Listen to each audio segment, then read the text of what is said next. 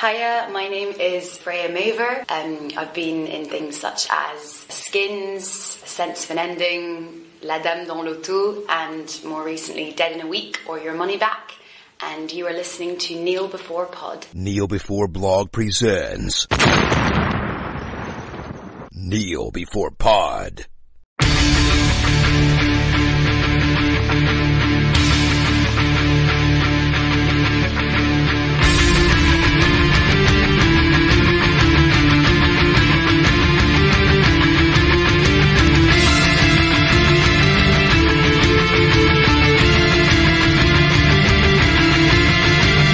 Ladies and gentlemen, boys and girls, Skrulls of all ages, good morning, good afternoon, good evening, and of course, good night. Welcome to Kneel Before Pod's episode on Secret Invasion. Before we get to the good stuff though, I will say that we do want to indicate our support for the strikes that are happening over in America. We have actually recorded this during 2023 WGA and SAG-AFTRA strikes. Without the labour of the writers and the actors currently on strike, the thing you're about to listen to wouldn't exist. We have nothing to talk about. So we stand with those on strike and support their desire to be recognised and fairly compensated for the work that they do. And with that said, hopefully we can now have a good discussion on Secret Invasion. But I can't talk by myself. I am going to need someone who is at least pretending to be Craig. Hello, potential Skrull. Hello, I should be very obvious about my true identity because everyone in this show pretty much is. I don't think I can take that at all on face value. I'm actually going to have to shoot you in the leg right now just to find out. That would work. Put your leg forward there, and I'll just have a quick shot. Maybe I'm just so badass that I can be shot in the leg and it won't even slow me down. Action hero vibe. Yeah, Super Skrull. You've accidentally fallen into the machine and become Super Skrulls. Is that a spoiler? I don't know. It might not have been if you hadn't pointed it out, because people might not have known anything about it. Either way, it's too late now. Moving on. Pretend nobody noticed. Pretend that was a Skrull and not you or me. You're definitely a Skrull. We're doing this after we had a pre Skrull chat before. And this is also coming out after my DMing of the Dungeons and Dragons podcast. So Craig has invited me back potentially because I DM'd well enough, but potentially more because he wants to torture me with Skrulls being the thing I feared most of all the MCU projects. And I think if he is a Skrull, that torture is possible actually, because of something about the Skrulls that we can reveal later on. But yeah, okay, let's not do too much spoilerific stuff. I can say though, Craig, before we get onto it, they only did one thing that fell into the category of the thing I was most worried about. So I don't know if that makes it good or bad, but we can talk about that. But I think you should go first. Just spoiler free. Maybe they did a lot of new things to annoy you about this stuff. It's entirely possible. Although, actually, having watched a few other YouTube analyses on this, there's a few things that they repeatedly do in all of their shows. But anyway, we're getting way ahead of ourselves. Tell me at least your spoiler free general impression, first of all. Did you get enough out of this to keep you watching the old MCU stuff? Or have you, no, I've had enough? I didn't really get much out of this. I kept watching because at this point I'm still invested in keeping up with the MCU, and that's all that kept me watching. But I was coming out of most episodes thinking, wow, that was really dull. And obviously, we don't have many episodes of these things, there's only six. And when you're at the end of episode three and thinking, absolutely nothing's happened so far, really, it's very concerning, especially when you're told that the scale of the thing is huge. And then it doesn't feel huge. It feels like a smattering of people just chatting in a couple of rooms. Well, I want to ask you about that actually. So, yeah, that will be a talking point, that scale. So, you didn't get the sense of scope that it was boasting about.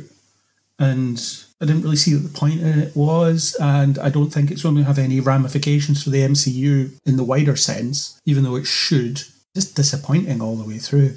One tweet I saw was someone talking about how is there a TV show that stars one of the biggest actors in the world, Samuel L. Jackson, and nobody is talking about it or watching it. How can that happen? And I found myself a bit confused by that myself, just thinking, how did they screw this up so badly? I wonder if we'll answer that question over the next however long it takes us. Absolutely, we will certainly try. I will say for myself that I watched this twice through, for which I blame you because I would have given up on it if you hadn't have said, let's do this podcast. I watched it twice as well, but I always watched it twice before writing my review. So All my right. second watch was as I was going. I don't normally watch things twice though, and I gave up on Ms. Marvel, I think, on the penultimate episode, didn't watch the finale, and I gave up on She Hulk pretty early on. It would have fallen in the middle. I would have lasted somewhere in the middle of those two extremes, but it has convinced me that I am no longer going to bother watching any Marvel, I think. I mean, I will watch it if somebody comes out and says, oh, you should see this, it was good for this reason but I'm, I'm kind of done now, I have to admit. I don't trust them anymore. There's plenty of times during the previous saga that I am on this podcast saying, I didn't quite understand this, but I've seen enough that I trust the writers to fill in the gaps and point out that there were things that I just didn't realize. Now I'm the opposite way around. I don't trust the writers anymore. I think they are producing the same sort of thing over and over just with a different flavor on the front. Even if I like a show or character, I'm not convinced that it's worth my time anymore. Not even Loki season two? I'm just not sure why I would bother if it's going to be this caliber. And I've seen Phase 4. I kind of enjoyed Shang-Chi and I did enjoy Spider-Man, but the rest of the films. And then I've seen through the TV series and I, I really enjoyed Hawkeye and I enjoyed Moon Knight more than I should have done. The odds are starting to turn against us, I think, here, just the sheer volume. And even if they do have an about face, it's going to take two years for us to see that because everything's already in post production and so on. So I don't know. I think I'm just going to wait. And if somebody recommends it, somebody points out something being more than just, eh, it was okay, then I'll, I'll go back in after the fact now. Just, I don't think it's worth the time investment. I do have some hope for Loki because it's in theory made with the same sensibilities that the first season was. And the first season of Loki was mostly good. I wasn't keen on the finale, which I can say about almost all of the MCU shows, Yeah. actually. Well, the ones I liked anyway, I'm often not keen on the finale. Hawkeye being the exception, I thought that ended pretty well. But Loki season one, I didn't like the ending of, but I liked it throughout. So I wonder if season two will be continuing with that trend. And the trailer looks pretty good, to be fair. Fair enough. I remember quite enjoying it, but I was never raving about it. And I think that's the problem. The high point on average is, yeah, that was okay. And I think I can do better with some other TV series. It's one of those things that time is just so very precious. And if I was into my superheroes beyond anything else, then I would make time for it. But I'm not. I'm the gamer of this group. I'm into high fantasy. I watched The Witcher all the way through, even though it wasn't necessarily worth my time because it was my genre. So superheroes aren't my genre of choice. It's almost a raw practical calculation at this point of what time can I spare, which is a shame. But with the content of material that's out there, I think we're all making that choice now. We've said before how there's just so much in the fantasy science fiction subgenres. You can't watch everything now. So things just naturally fall to the back. So I'm not anti Marvel. I don't hate all of it. It's just fallen below a line below which I'm not going to prioritize. So it's just a bit meh, I suppose, condemning as that might be. But let's pick up a few of the points that you said, actually, because they are things that I wanted to discuss that hopefully we can pick up before we even call spoilers. And you did start me out with the sense of scale, and that, that is something I did want to talk about. I do wonder if Marvel has had this problem before, actually. I even thought with Civil War it should have been called argument or disagreement because it was just what five or six of them on each side? It wasn't really a civil war. I wonder if that's something that is then inherent to the mcu and their setup. Do you think it's actually possible for them to get a sense of scale here or are they doomed by something inevitable in their creation The Civil War thing was so they could use the iconic comic book title rather than actually copying it. And that was a bizarre case because it brought in the Sokovia Accords, something that should have been really important and ended up never really being mentioned again. They did more with it in Agents of S.H.I.E.L.D. than they did in the actual films. well yeah And I think there's something similar going on here. So they used the iconic title of Secret Invasion as a headline for something that's very little like its comic book counterpart. I think Civil War is much more like its comic book counterpart than Secret Invasion is. Okay. But they've made a lot of changes in both. But it's bizarre that they keep selling these things as big universe shattering events. And again, what people would say in this show would suggest that it is supposed to shatter the universe. And some of the implications of what goes on suggest that it might shatter the universe. But we've seen time and time again that these things generally don't. What happens is they maybe get mentioned here and there. Look at the blip, for example. It just Oh, gets yeah. brought up once in a while, and it doesn't really seem to have made any measurable impact on what's going on. The stories haven't changed that much as a result of this massive global, well, universal event that took place. People just seem to be getting on with it after it, and it's something that's largely been forgot about. I feel like there's a lot of that going on here. The threat seems to be larger than the thing gives it credit for, but also I feel like they're not going to shatter the universe in a TV show that a lot of people maybe don't watch, a streaming show that a lot of people don't watch, but then they also want new viewers to come into their films or shows without having a lot of baggage attached to them, and then that means that these things can't have massive impact. Because if you have to spend half the film explaining why things are the way they are, it can be an issue. They might be actively just pushing the reset button at the end of everything, which is very limiting story wise. I wonder if they've got even that under control, though, because we're generally slightly confused, I think, with. And you're going to hate me bringing it up, but it's it's my go-to for everything: Multiverse of Madness and WandaVision, where the events of WandaVision are just hand waved away by Doctor Strange, as if yeah, that wasn't a problem. And anybody that has seen it is going, "You what? You can't just take away the fact that she enslaved and mind slaved a bunch of children, but it does. It has to, as you say. They do seem hamstrung by it, but they're not even necessarily clever enough to wind it into the script sometimes when there are consequences. So I wonder if Secret Invasion technically does it better by not having too much that needs to be reconsidered afterwards, which is, of course, a very naff thing yeah, we're inconsequential. Don't worry about us. In which case, what's your mm-hmm. audience going to do? It's a shame, but it does make me think then that, yeah, if they're not going to do the blip, as you say, and they don't appear to have done, because I don't think the Skrulls have anything to say about what happened to them in the blip at all. If they're not going to do the blip, then what is one takeover of one small planet? But it's a tricky one. I, I do understand, and you've said it to me, that Marvel wants you to not worry too much about ongoing continuity. You should enjoy things for their individual element because they're not trying to build a complicated story. That was a long lesson for me to learn, but let's say I've learned that now.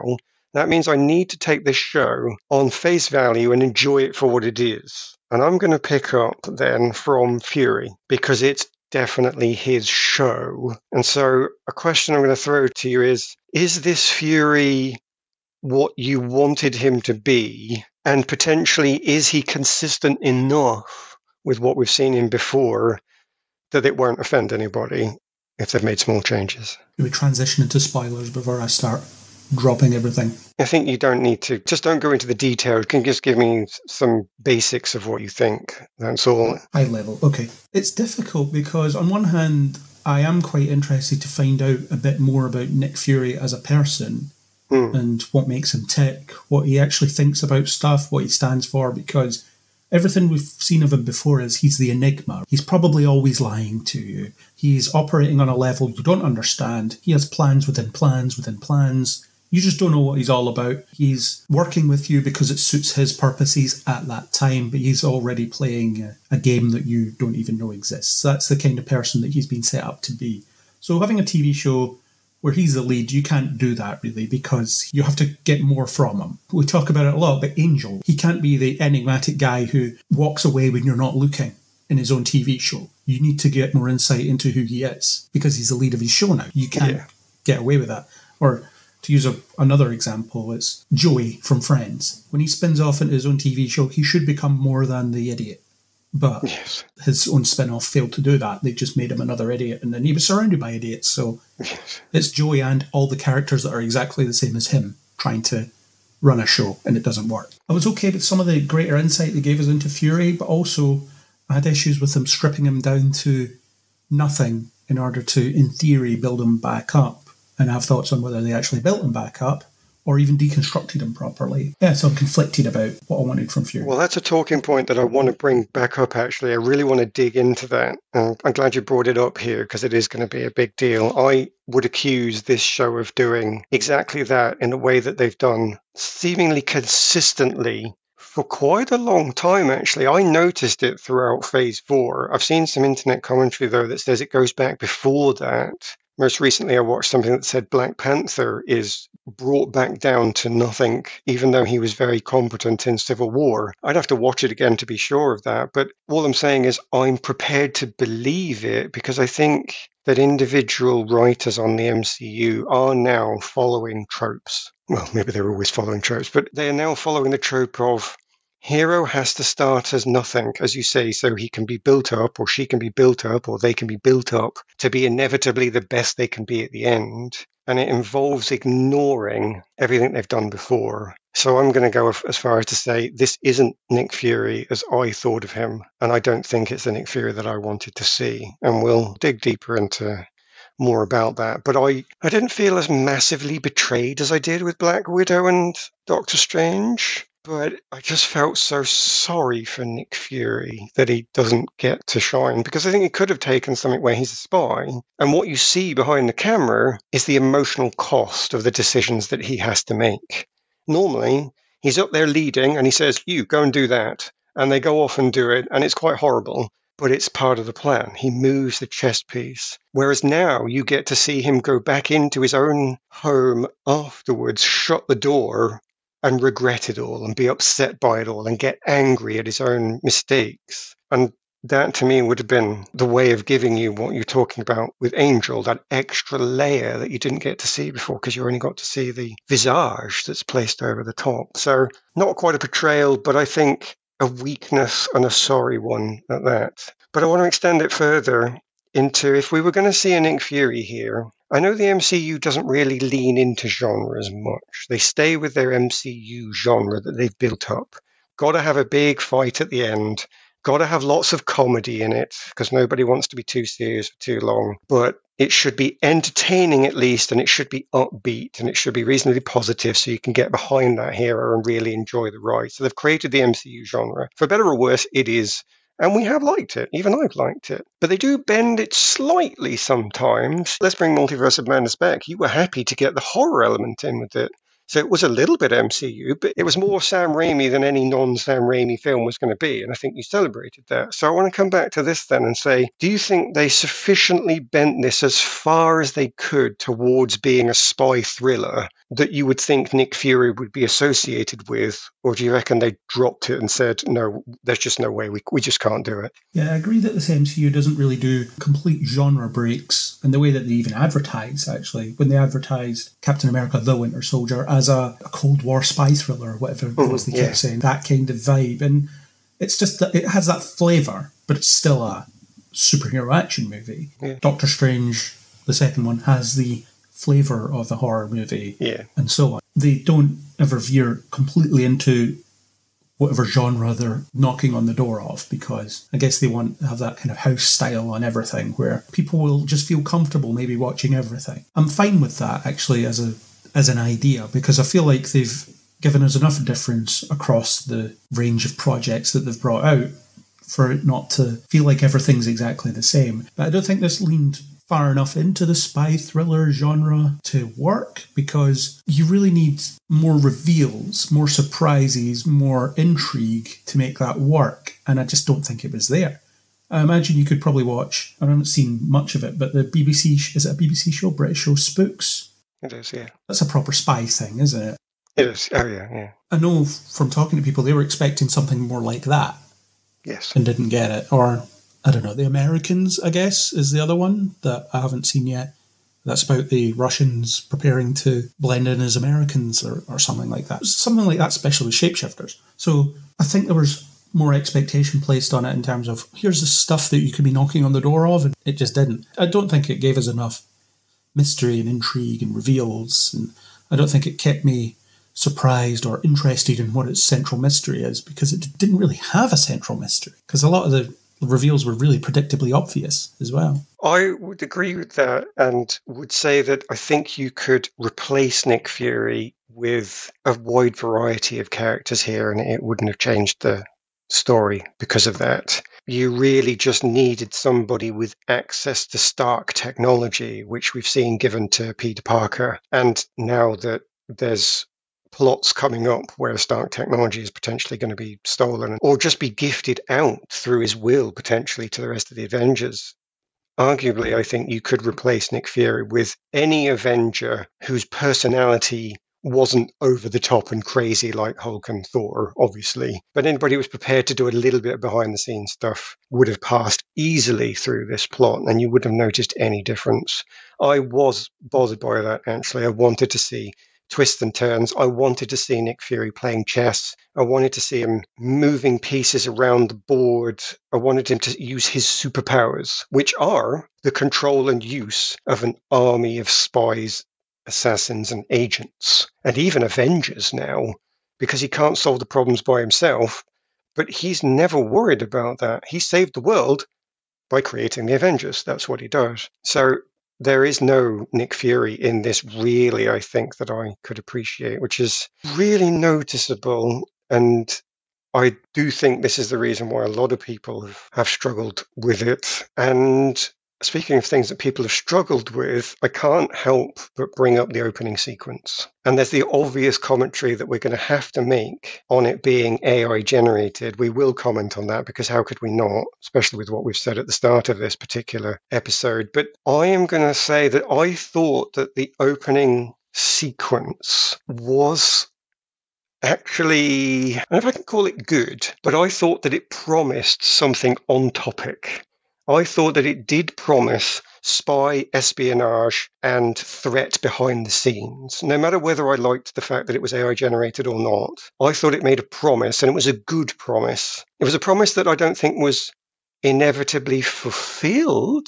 And a lot of people have criticized it for many things. But where do you stand on, on that? Do you think the opening sequence suggested spy thriller with hidden threats well enough, no matter what other issues it might have had.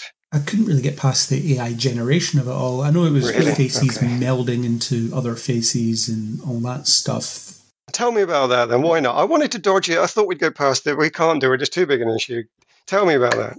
Well, it's funny because the first episode aired and then it came out in the press that the opening titles were AI generated, and that's all people were talking about in regards to the opening episode. It was, yeah. People were talking about the show, but they weren't talking about the show. They were talking about two minutes of it, whatever. Mm. I think it shows how much contempt Disney have for creatives that they're willing to do this because they could have paid someone to throw together an opening sequence or paid an effects house or however many people usually work on these things. They've done it before Everybody does it, as in pays people to give us opening titles for this thing and we'll put music over it. So I don't understand why they did this, other than the fact that they just didn't want to pay someone to do it. And they thought, hey, we'll get away with this. And, well, they didn't. I suppose they, no, they didn't get away with it because people stopped watching the show. I don't know if it was for that reason or a confluence of other reasons, but I think there was a lot of people that said, I'm not going to watch this. I don't want to support Disney taking work away from creatives in this way. Fair enough, yeah. So I, I had a major problem with them using AI for something that they could have employed someone to do.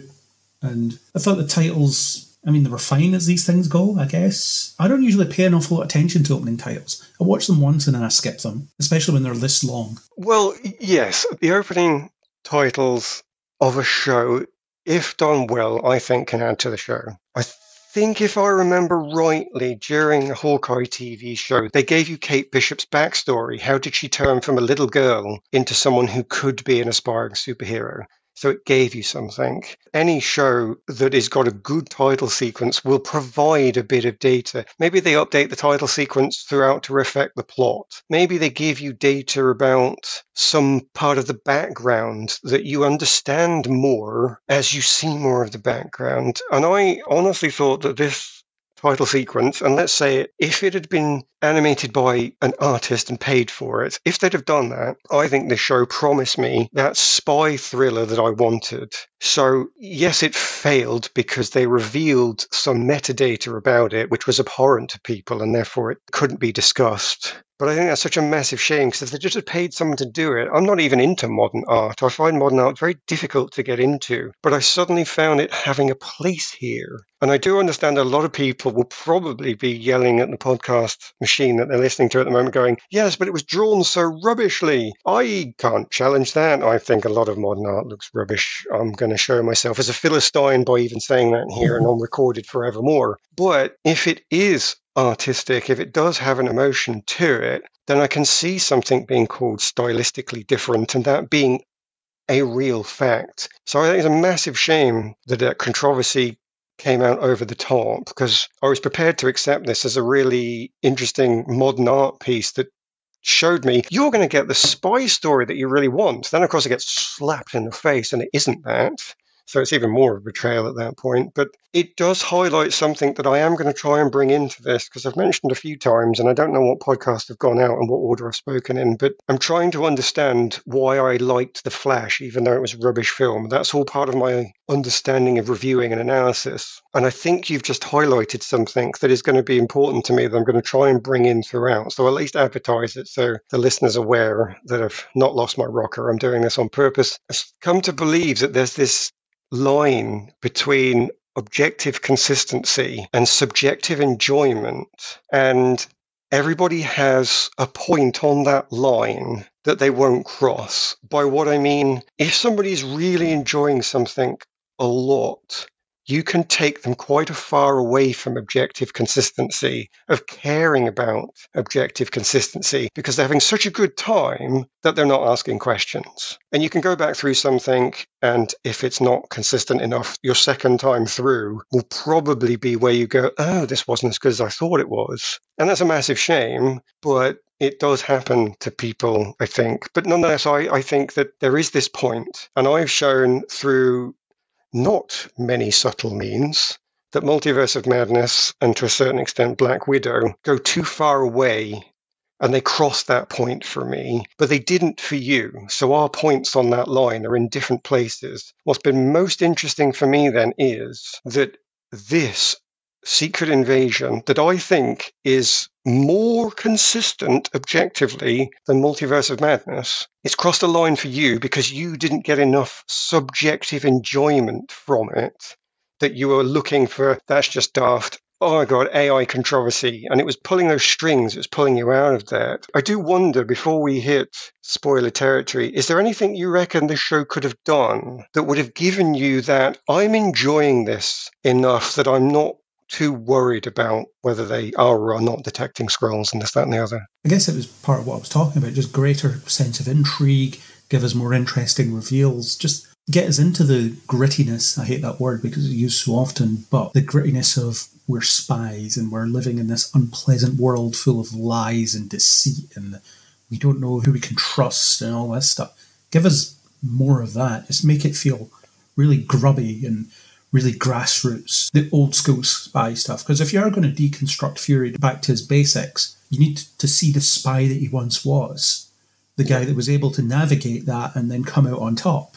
You need to see him go back to that, his younger days, where he was presumably more effective at that. Of course, as we'll talk about probably, this show suggests that he isn't perhaps as good as he says he is for Yeah. reasons that are a bit ridiculous. But that's more of what I wanted. I just wanted to live in that uncertainty for so many episodes, just not know what way was up anymore. Well, Fury is going to be my first talking point when we call spoilers. So we will definitely kick off with that then, because it sounds like it's going to be the biggest and most important point. Who'd have thought the main character was the most important talking point?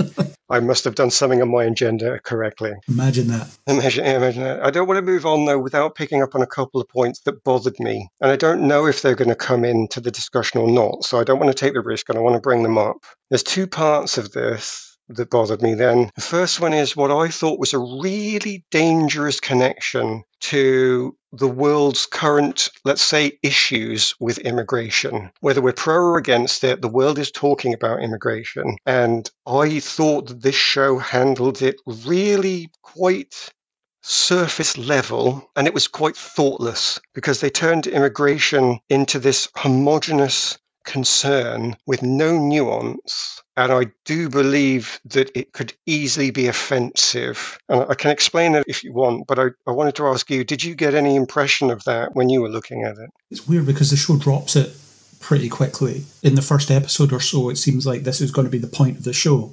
Mm. And then it just isn't because you never get the grassroots Skrull perspective after a few seconds, really, in the first episode. So it just seems like the message they're saying about immigrants is they will come into your country and eventually try to take it from you, which is the horrific messaging you get from, well, our government that are trying to turn you against the people coming across in the boats, for example. As in, they're coming over to steal your jobs, they're coming over to stay in four star hotels on your dime, etc., etc. All that horrific messaging. And that seemed to be what the show was getting at. And I think, again, in the whole spy vein, if they'd started off by saying, this is what we're saying, and then later in the season said, oh, actually, it's not, we're saying this. There's more to what we were trying to say early on. We, we tricked you into feeling passionately about this thing, and we've just subverted it for you. But it doesn't do that. So you're left lingering with that message throughout. And they drop it, but I never forgot it. So that was a problem for me. Absolutely. And I think that's where I, I was thinking of this thoughtless homogeny coming together because they're in England and therefore they have a good foundation for bringing up the Windrush immigration, which is also going to be easy for them to do because Fury is a black character. And it gives them this inroad where they can legitimately bring up immigration that is not going to be too crowbarred in. It's going to be relevant, and the character is going to mean something to them on a level that's personal. So you think, all right, okay, so yeah, you, you've worked that in, and I don't feel like you've just slapped it in my face. But because you've then shown us, as you say, this message about, but immigrants are just going to blow up your country, you're thinking, am I supposed to think that of the Windrush generation? You're not saying that. You can't be saying that. And that's why I think it's just careless is thoughtless because they haven't realized that they're just drawing everything together and they're not giving us any nuance. I would have liked to have seen far more clearly something about the distribution of Skrull politics that I, can't, I won't mention before, spoilers, that would have given us the nuance that I think we're both talking about here. So, yeah, I think that was a massive problem. I'm surprised it's not more of a talking point, actually. I honestly don't believe the MCU writers did this on purpose because even if you just think that most writers are more socialist leaning and have to be socialist, but they're more for the people. You see quite a lot of anti Republican stuff sometimes in, in the MCU. So I, I, don't believe that the show was anti immigrant at all, but I think it was dangerously careless that they did it that way. But yeah, maybe that'll come up later on. The second point that I wanted to bring up was they were filming this still when Putin had invaded Ukraine. I don't know if I have any thoughts on that one way or another, but it just struck me as odd that it didn't seem to interfere with anything. Did it affect filming? Did you hear any stuff on Twitter or, or anything to, to say that? Not really, no. The only thing I know about this is there was a lot of COVID production changes that occurred because it was being filmed during COVID. Right. So there was a lot of reshoots and things like that. The reported budget for the entire show was two hundred and twelve million dollars. Oh, that was mad! Yeah, it's nuts. Yeah, and when you think about what you're watching, you're wondering where's that money going because it's not on screen. So did it all go into actor salary, which I imagine would have been a, a significant bill considering who's in the show, and then COVID situations. And if you think about the fact that it's filmed during COVID, you can sort of see it because you've got Samuel L. Jackson, pretty old guy. He doesn't really share scenes with more than one or two people at a time. Mm. Very often, so you can see the restrictions in play as you're watching it, I suppose. But no, the Russian thing, because that stood out to me, because obviously it's released during the Russian invasion of Ukraine, but it was, I guess, some of it filmed before or during. It was still in filming, or at least post production. I actually would need to check that now. But yeah, something was going on. Yeah, the MCU Russia is very different to our Russia, I suppose. Yes, true. There's the whole thing about trying to spark a war with Russia against the US and all that stuff. Yeah, it just seems so dangerous, inflammatory almost. Again, not on purpose. It was just so unexpected. Feels like they could have ADR'd the word Russia and changed it to one of the fake Russia esque countries that exist in the Marvel comics. Well, somebody on the writing staff hates Slovenia, I think, or is it Slovakia? So they could have picked one of those. Yeah, we're just picking on you. Why not? You, just you. We had Sokovia, which isn't a real country, so they could have done something like that. True.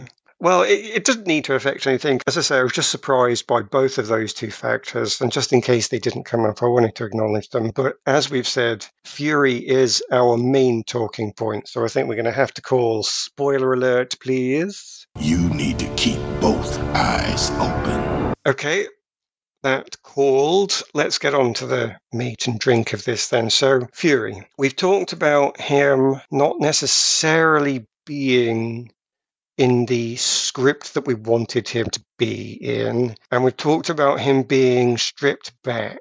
And I think that second point is the one that really bothers me the most.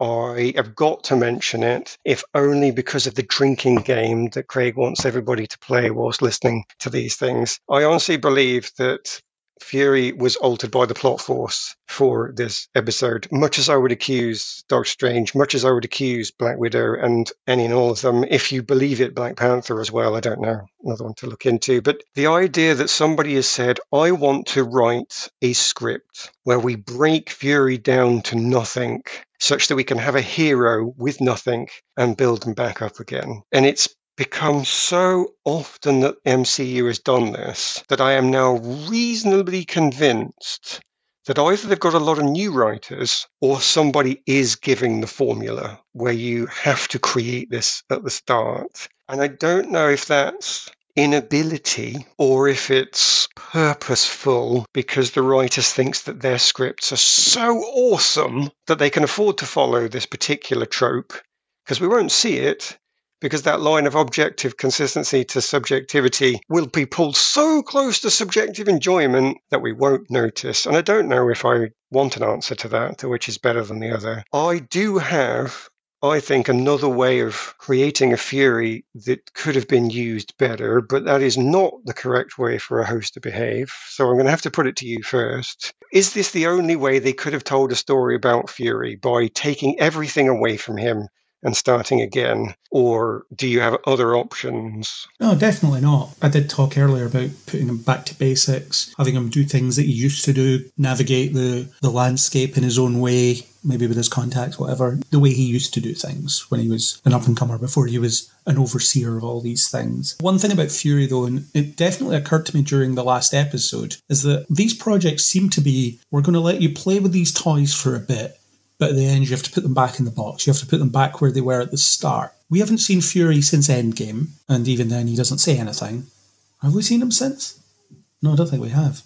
Only as Talos, I think. Nothing as himself, yeah. Yeah, okay. He's very briefly at the end of Far From Home, where he's in space and you don't know what he's all about. He's on holiday, it seems. He's on a fake holodeck beach or whatever it is. We haven't really seen him substantially then since Endgame, to be technical. So we don't know what he's all about. So he starts off this show. He's not wearing the eye patch anymore. People keep telling him he's old and past it and lost his Oh, groove and all that stuff.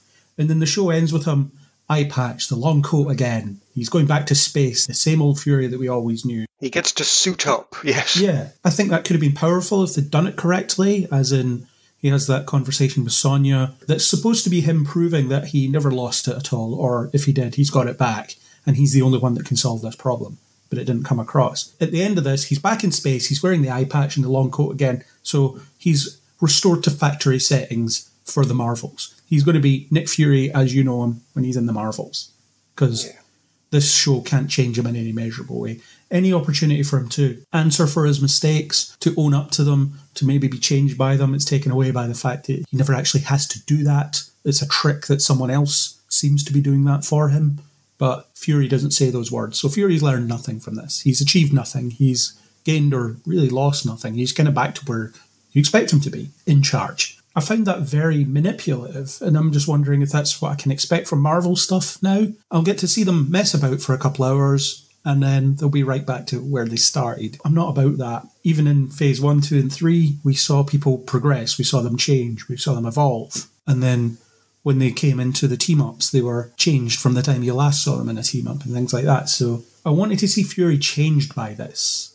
Because there was a few things in here that suggested that Fury's a terrible person and he should probably answer for that. And he just never does. So he just gets to go on being a terrible person that never answers for anything. I thought even that was a bit careless, actually, because the suggestion is that this whole setup has been a father son relationship with him and Gravik. In metaphor, obviously not real, but the idea that Gravik was betrayed by his adopted father and Again, it brings me back to the tropes. It's like somebody picked up the manual, and you can see the experienced writer standing over the young writer and saying, You have to make it personal. You have to make it about a family or a friend connection. It must all come down to this, otherwise, it won't mean anything to the audience. Oh, and you have to make them nothing at the start so you can make them everything at the end. Just reeling off the basics of storytelling but in order to do that here, they have Nick Fury took a child soldier and gave him as his first mission an Now, I don't honestly believe, as manipulative as I know Fury has been, that he is that downright evil with no consideration for it at all because the MCU doesn't have that sort of person in their hero set. They made a big deal about telling us that Black Widow wasn't nasty after all. She just made a mistake when she killed Chekhov's daughter, and, and she's really upset about it, and she'll never do it again. And now we're asked to believe that in that universe, Fury is somebody who promotes child soldiering and child assassinations. Although that stuff is in phase one, actually. If you think about the Avengers, where Banner says, You spies start that young, and Black Widow says, I did. And that wasn't Fury that did that to her, but the suggestion is that that's just the way that game is played. They need young operatives who can sneak around and things like that. And yeah, I believe that Fury was maybe capable of that. In the Avengers, for example, when it's revealed that he's been stockpiling the Hydra weapons to make his own, when he's called out on it, he's like, Yeah, of course I was. We need weapons to fight this threat that I think is coming. And retroactively know is coming because I met the Skrulls in the 90s, but that hasn't happened yet, so that's confusing. I always believed that he was capable of something like that. And that's kind of what made him interesting. He's this big picture guy. His moral compass is very skewed. There's nothing he's not comfortable with doing. Whether he feels bad about it, we're not supposed to question, but he'll do it regardless. And even in Winter Soldier, he says Agent Romanoff is comfortable with everything. And it's clear that she is. That's only a retcon that happens later with Black Widow, where she suddenly didn't kill a little girl in a hospital fire that she started and things like that. But I still believe that Natasha did horrible things and that was the point. She was redeeming herself for them. And Fury, I guess, he feels like he was doing it for the greater good and doesn't feel like he has to redeem himself for anything. But was okay with that as a notion. I actually would challenge that though, because he didn't, as you say, raise the Black Widows as child soldiers. That was specifically somebody else. He brought her on board as an adult, and I have no problem with him using adults to do horrible things. And the fact that he maintains some Hydra weapons, it's not quite the same as having a room full of WMDs. He had some Hydra weapons, and there might have, of course, been the odd powerful weapon, but it, it's not what we're shown. We're shown rifles. So I honestly don't believe we've seen a Nick Fury that's been shown to be that bad. It is a special kind of compartmentalization that allows you to do these things. You're not going to be able to just send a child soldier in in the same manner as you can put a Hydra rifle into a box for when you might need it. So sending Natasha out and saying that she's comfortable with everything is a different thing to doing it. So I don't think we've ever seen him do anything that awful. And everything can be bluster just because somebody says something. I'm all about what were we shown in all of these series. And he is the guy that saves the day by doing cool things and by trickery. He doesn't kill Coulson. He takes some cards from his locker. He might dab them in Coulson's blood, but he didn't kill Coulson. He didn't send Coulson specifically against Loki. And there's a line there that I think is being drawn not explicitly, but as I say, based on what was shown, I don't think we were shown that. And the reason it bothers me isn't even because of that. The reason it bothers me is because it's just so simply said. You don't actually get enough backstory from Fury or Gravik to give you any belief in any horrors. And I need to be shown it, I think, if I'm going to believe that. Otherwise, it stands out to me as this inconsistency. Now, I'm happy to say that our line between objective and subjective is in a different place. Therefore, they crossed it for me, they didn't for you. I'm happy that that is true, but I, I, still think you'd have trouble arguing it based on what you saw. But nonetheless, we're back to these tropes and we're back to bringing Fury down to nothing. The original question was, do you think they could have done it a different way? And you've said, yes, they could. And you've given me one. I'm going to give you a second one. I would have liked to have seen a few episodes whereby Fury had all the power that he previously had at the start but it was slowly stripped away from him by clever opponents. Fury, you've got a chessboard of 15 other pieces. I'm going to take away your rooks. I'm going to take away your access to your bishop technology. I'm going to take away your knight vehicles. I'm going to take away a lot of your pawn agents and it's just going to be you on the chessboard. And then we bring up what you've given us, so he has to become the spy himself and go back out into the field. And he can still be a capable spy. They've not removed anything from him, but they've taken away his cool toys that he so likes to use, his chessboard. Oh, it was such a shame that they didn't even consider that. It's why I remember these tropes.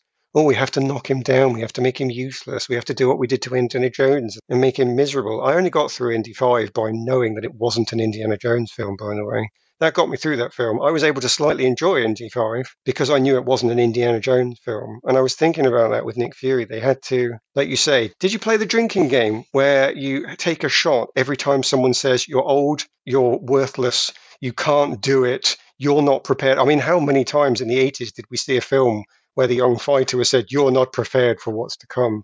even more tropes. I was offended by that. And when the guy from Black Widow comes along, oh my God, this Black Widow character, who supposedly is providing the Black Widow with cool toys and useful information, blatantly leads the way for her enemies to her with all the stuff he leaves for her to find. And he has the audacity to say that Fury can't cope with it and can't do it. Oh, I wanted to slap him. So I'm going to say by this end of this, I was infuriated with this idea of just telling me Fury is old. Did it go that far for you, or was it just a bit annoying. I think some of the depiction of him losing things was quite good, but some of that was down to the way Samuel L. Jackson performed it. For example, the conversation he has with Skrull Rhodey, where he ends the conversation seeming confident. He says, Even when I'm out, I'm in. Oh, yeah. And then he collapses on a bench afterwards, as if to say, Now what? I'm screwed. I like that. There's the bravado when he's in front of people, but privately, he doesn't know what to do next. Hmm. Those were little touches that were by themselves quite good. I don't think they fed into any broader story that was being told or any broader character development. Like I say, that's the point where Fury should build himself back up to the point where he is the only person that can solve the problem, which I don't think they did. So there was aspects of it that were better than others, I think. The Black Widow cameo guy, Rick Mason, the character's name is. I'd forgotten he existed, actually. when I was watching the episode, I was thinking, who's this guy? Am I supposed to know who that guy is? And then if people were talking about online, it was, oh, it was good to see Rick from Black Widow again. I was like, oh, yeah, the guy that got her a Quinjet somehow. Okay, if that's your broader connection to the MCU for this episode, then sure. People were theorizing that Daisy from Agents of S.H.I.E.L.D. was going to turn up in this, and instead we got the guy that I can't even remember from Black Widow. So, yay, I think. I was expecting to get a really good character back, and then I got this idiot. So, you've surprised me, yes, but not a good surprise. I mean, maybe surprising me is enough for you. If I come away and say I was surprised, I hated it, then maybe you're okay with that. I don't know. Them being Disney. Back to the original question, I guess Fury losing everything and then building up, I don't think was done particularly well, but I think some of it was performed quite well, or I think some of it could have been good if in a better sequence of events as well. The collapsing on a bench because he knows he's alone and showing what he really feels and thinks. That's the kind of thing you would maybe expect in a TV show where your enigmatic character is elite. To go back to Angel, you see his reaction to failure, or you see how driven he is to solve a problem because he's the main character now. It's not like he was in Buffy, where you would turn up and perform a specific purpose and then leave, which is what we've had from Fury beforehand. Whereas this one, he has to be the driving force of the plot, and I don't feel like he really was. Well, let's capitalize there on something you have said, though, because I could slate the writing of Fury forever and the audience would probably get too much hate and negativity from me. So I need to turn it back positive at some point. And you've given us the inroad to do that, which is the acting. So let's bring in Ben Mendelsohn as well. Are you prepared to extend that this was acted well into the conversations that we had buddy movie style between Fury and Talos. Yeah, I think that was some of the best stuff about it. People talked quite positively about the train scene where Fury just tells an anecdote from his childhood. And that was a really good spy negotiation type scene. He offers something of himself because he wants something in return. And the thing he offers of himself is a calculated inroad into that thing that he wants. So even he's being selective with what he's revealing. That's the Fury you want to see, with the one that, who understands the currency of information, I suppose. He's trying to get a good exchange rate on the information. And I like how it dovetailed into the tell me something I don't know. It's the way his mother sniffed out a lie and asked him to, to do the same thing. Apparently, that anecdote was actually from Samuel L. Jackson's childhood as well. Nice. So it was something I guess he brought to it. Fair enough. Stuff like that was very good. I do think the Fury and Talos or Talos, it depends who's saying it, isn't it? How they pronounce it. It's about like in Batman, Ra's al Ghul or Ra's al Ghul one, Yeah. which one's right. And whichever way you want to pronounce it. I think the Skrulls call him Talos, so I'm going to go with that. Do they? Okay, I'll stick with that from now on. Yeah, so the friendship between them was really good, and I think they had a couple of really good scenes. Some of the actual content of those scenes was questionable, such as Fury saying, I was rising through the ranks, and Talos said, It was only because we were helping you. You had an Oh, army of hated shape shifting Skrull agents, and we're why you were so great at your job. And I was thinking, oh, so Fury sucked at his job, and the only reason he was good at it is because he used what those shapeshifters brought to him? Well, that sucks. It does. But yeah. I liked the scene. I liked the conversation. I liked the way it was performed. And it's one of those sleight of hand type things where it's not until I think about it after the conversation that I- start thinking about how the content is not so great. Yeah. But it's one of those, these two actors are acting the crap out of this, and I'm really enjoying watching them bounce off each other. And then after it, it's like, ugh. But what they were saying was garbage. This is answer to my point above then actually about what could they have done to bring this subjectivity, this enjoyment back in so we wouldn't have seen this. And maybe they did need to have a focus down on these two characters. Because one of the thoughts I had was that if you really wanted to make this a spy story and you really wanted to get the threat level up, then you keep it personal. And you don't see anything that the two main characters don't see. So when they are approached by Maria Hill for the second time, both of them are like, Is she a Skrull? I have no idea. Were you keeping track of her? I turned around to go for a drink. I have no idea. They could have had anything happening off camera, immediately brings that doubt back in. And we would have enjoyed it because these two actors, these two characters had such a lot going for them that we would have enjoyed watching them deal with problem after problem after problem, even to the extent that when they both get separated and have to come back in again. Are you a Skrull? Of course I am. I'm Talos. What are you talking about? You can even have, put some silly Marvel jokes in there as well, just to lighten it up so it didn't have to be too dark. I shouldn't have said silly Marvel jokes there. That was offensive. But you know what I mean? They could have put light humor in. Tell me something that Talos would know, and he tells him an embarrassing story about some time they worked together in the past, something like that. Yeah, but there's so many different ways that I would have preferred to have seen these two. And I'm glad we've brought up that their scenes together are good. And I'm not surprised that one of the things you've said is it's the actors that brought it, not the writers. Let's acknowledge that. But unfortunately, you have opened the door again to my hatred, so we're going to walk through. You've said that they've undermined Fury by saying that he was pretty much incapable, which is a bit offensive. So they really stripped Fury back down to nothing here. I think they've gone a step further, so you can tell me whether you agree with this or not. I have this suspicion that the character Sonya Falsworth, played by Olivia Colman, is only in the show because they were shooting it in the UK and someone said, we really need to get one of these UK actors in here. Who can we get? We've got Olivia Colman. Brilliant. Find her a part. Because when you're watching this, she's not a main character. She's definitely a secondary character. She has no development. She's there to serve plot purposes. So she's on screen and she's got stuff to do. She's big enough to be more than tertiary, but she's only a secondary character without that character, without that development. But she gets scenes by herself. And you're thinking, why is a secondary character getting scenes by himself? What is she doing? She's doing spy stuff. That's very interesting. We've not got any spies in this that could be doing any and all of this. Oh, we do. Nick Fury. So why were we taking away good spy material, good spy plot that Talos and Fury could have been going buddy movie round and giving it to a secondary character? I think that's such a shame then that they've stripped something else away from Fury. Anything that could have been competent spy work, they gave to Sonya. Now, I'm not saying she was a bad character because I think that when you see Olivia Colman, you generally are going to enjoy the performance. And even though I didn't like the character myself, I think plenty of people would liked it. And I think I'm prepared to say I thought it was well written, even if I didn't personally like it, objective, subjective. But Despite being potentially well acted and having some use in the plot, I think she just took away from Fury. So, can you challenge that? Do you think she actually was a main character? Do you think that no, Fury was fine as he was and didn't need to be doing anything Sonya was doing, or opposite, or different? I didn't really think about her in those lines, actually. She does that thing that they do with a lot of characters where they say horrible or threatening stuff, but with a cheery voice. Oh, I hate that so much. I know people like it. I do appreciate that some people love it, so I won't say it's bad, but I hate it so much. Anyway, sorry, carry on. I just had to let the hate out. I would like them to get rid of the Valentina character and replace them with Sonya because she is less irritating. Okay. I think that she could take on that role because she was effectively in that role, and I wouldn't be surprised if it was written for that character and then they couldn't get Julia Louis Dreyfus for the show, so they just came up with this other character who's basically the same and had her do that sort of stuff.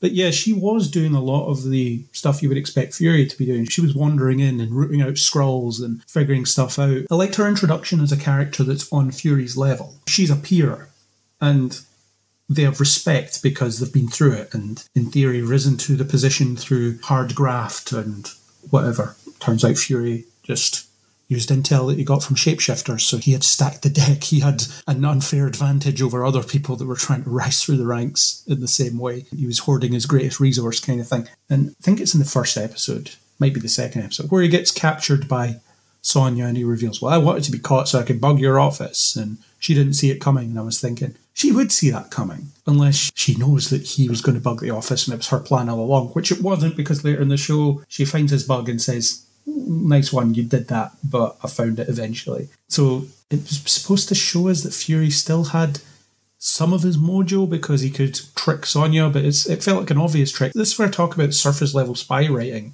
Because you could imagine a similar scene in a better written spy thing where they are one upping each other with what they say, yes, carefully yeah, choosing which lies to tell each other and things like that. Fury plants a bug that she's supposed to find so that she doesn't find the real bug that he's left somewhere she wouldn't think to look for it, for example. Or she knows the bug is there and she makes sure she has a conversation in front of it that will send Fury in a particular direction that she wants him to go in. Stuff like that. There was many open goals they could have had with that conversation and the, the consequences of it that they didn't take. It was just very simply Fury managed to trick her and she fell for it. And yeah. it ends up devaluing her character because she didn't see it coming. Because I, the viewer, I'm not a super spy and I saw it coming.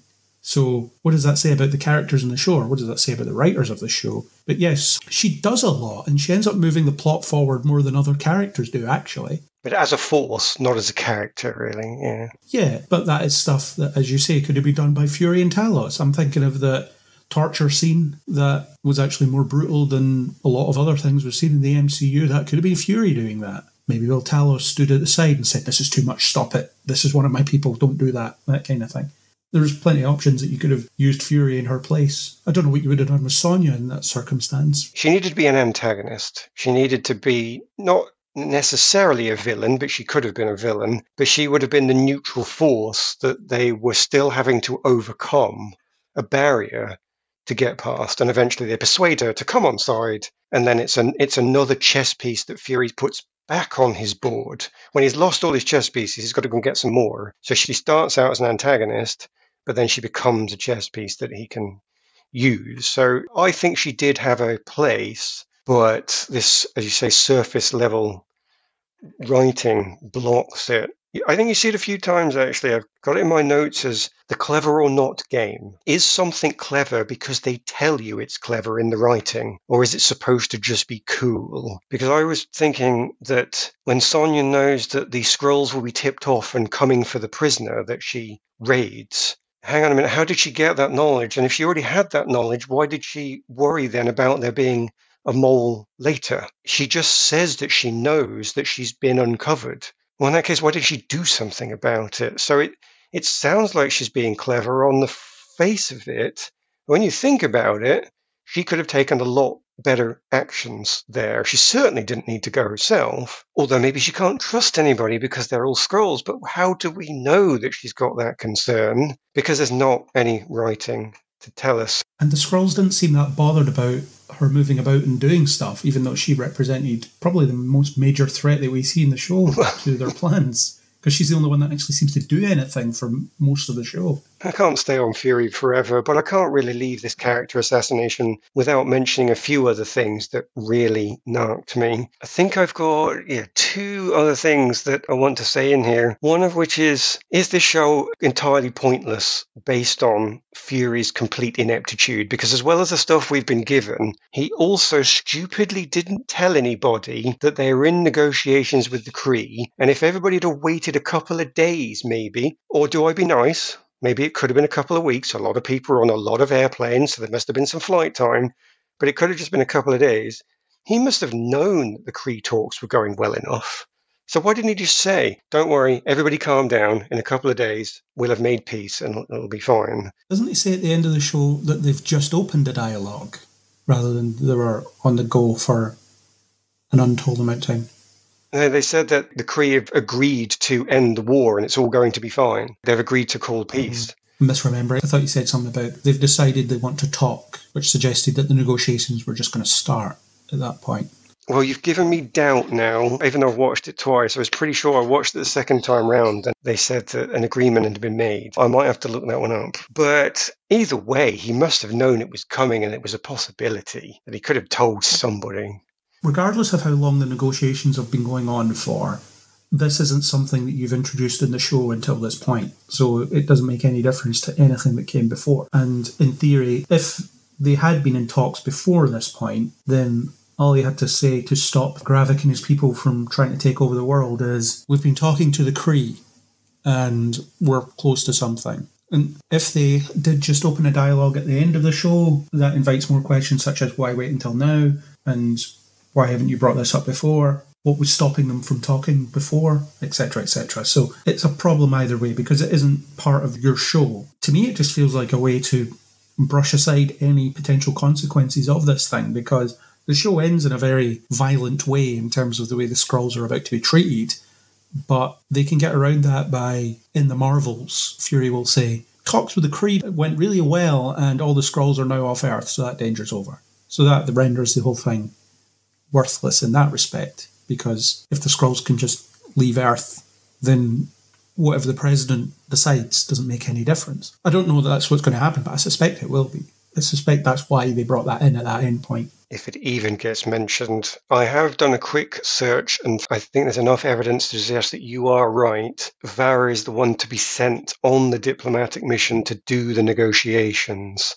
So that does make sense. But either way, I'm glad you managed to back up my point anyway, even though my own incompetence took me away from it. You've given me faith that you are not a Skrull and you are, in fact, working with me. So that's good. That was only one point I wanted to bring up, though. The other ones were Fury's final speech. At the end, doesn't he say things like he's turning his back on his old ways? He's essentially cancelling himself because, oh, I don't want to play anymore. It's always too difficult, or I'm too old, or I don't think this is right anymore. Isn't that a bit insulting to just get rid of him that way? I don't even know what he means by that because we haven't had any exploration of his character to that degree over the course of the show. So that conclusion just kind of comes from nowhere. Yes, and it, it isn't even built on a good foundation, I don't think, because this whole idea that he had some sort of post traumatic stress syndrome from being blipped, which I have to admit is perfectly reasonable, is something that I didn't believe from Fury.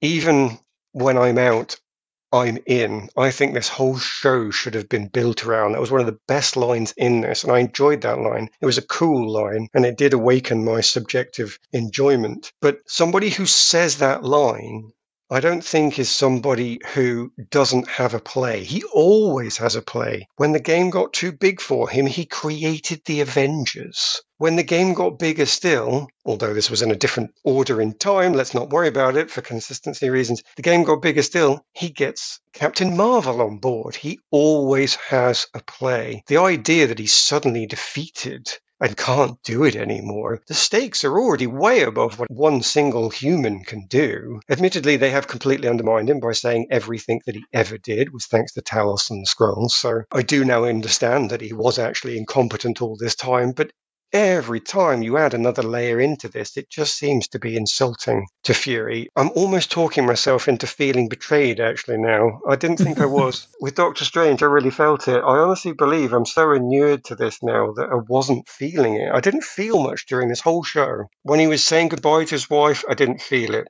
When Talos died, and I want to talk about that, when Talos died, I didn't feel it. When anything happened, I didn't feel anything. And that's a massive shame. And it protected me from feeling betrayed. And I do think I do now feel that. I think this was a total betrayal of Nick Fury's character. But I've been down that road often enough. So I want to bring you back did you feel anything with Talos? Did you think he had good backstory, good development? The fact that he was naive, did that work for you as an ideology? And when he died, was it traumatic? Any of those things hit you in the heart or head? The problem with his death is it was the third potentially fake out death in the space of four episodes. Mm-hmm. So the show trained us to expect death to not be what it seems. Turns out two out of those three deaths did stick, at least for now. Maria Hill is currently still dead as far as we're aware. Talos was cremated, so therefore reasonably certain that he's dead, unless they just burned something else. I don't know. His death didn't have much in the way of impact on me though, because they hadn't set it up as being the tragedy that it's supposed to be. And I saw what they were trying to do with it. So you had the whole situation where Gaia thought he was naive and too idealistic and not considering the reality of the situation and all that. So it set her up to understand his point of view, but mold it into her own worldview and find a practical way to make that work. So merge his idealism and her cynicism into something practical. As in, the world isn't like this right now, but here's what we can do to make it like that. Or here's the best way forward based on this. Her seeing his point of view seemed to be where they were going with it, but I never got that impression at all. So when Talos died, I was just thinking, well, that's a wasted opportunity because I feel like there was so much more this character could have given us. Sometimes when character deaths happen, you think, oh, they had a lot more potential, but that's why the, the death could be effective because, oh, we'll never get to see them live up to that potential. And the other characters have to deal with the fact that this character will not live up to that potential. That's part of their grieving process. You would consider that to be a valid exit point for that character because the other characters can pick up what they did and take it forward. But that's not really what happened here. When Talos died, I was thinking, he still has more to do. We're only just getting started with this guy. Yeah, and he doesn't have a backstory more than he is also old and broken and irrelevant, which a lot of characters take the point to say he's the same as Fury that way, which is potentially a nice starting point for that parallel, even though I hate it. I understand that it, it's a good parallel to put them in the same place and they're both old men trying to get back to it, which is a storyline I normally love, but Anyway, let's move on. But without that backstory, without any development, his ideology to me just seems so dangerously naive. I didn't believe it. I didn't believe that it was an ideology. Well, throughout, I just kept thinking, are you watching what's going on around you here? Yeah. I can understand that you want this, but this isn't the world you live in. Yeah. So, how can you believe that this is reality? Because it quite clearly isn't. I started to believe it a bit more when he stopped Fury killing Skrulls or tried to, because then it becomes an ideology because he's committing to it in every action, but it's not developed. His relationship with his daughter is not developed. They mention something about the mother, and Guy looks really sad, and then within two lines, they're on something else.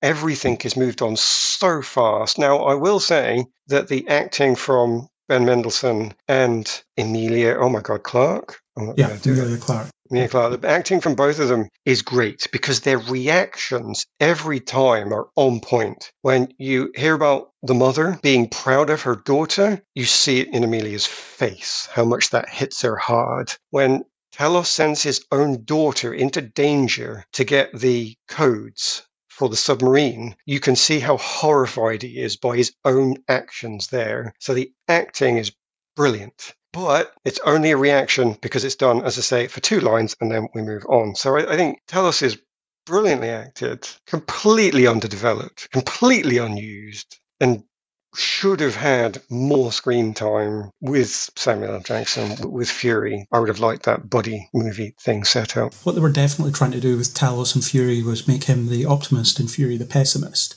Yes, they were. And then they meet in the middle, but they didn't write it well enough because Talos just seems foolish for yeah. thinking that the world is the way it is.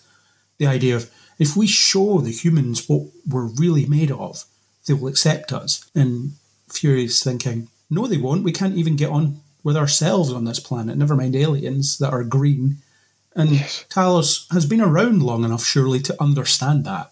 I think that this would have worked with, I'm going to bring into my next section, which is the Skrulls. And I think it is a nice link into it, so I'm going to use it. I think this would have worked for Talos if the Skrulls had have had two clear and distinct sides to them. If there'd have been the Skrulls that were with Gravik and the Skrulls that were still working with this ideology. And the people with the ideology were just slowly transferring over to Gravik. And Talos is desperately trying to get some to stay. And how he does that is by making sure that Fury doesn't treat them all as the enemy. No, this one's not the enemy. This one is my friend. And he's constantly fighting this battle to bring everybody back to his ideology. And these two sides are clear. And one of them are the good guys because they won't give up on their principles. Don't matter how badly the uh, universe treats us, we are going to stay true to our religion, our ideology, our family, whatever it is that is the core of that belief. They are the good guys. And then Gravik is the opposite. And he is the one saying, no, practicality. This is how I convinced your daughter. She's come over to me because this is what the real world is like. Suck it up.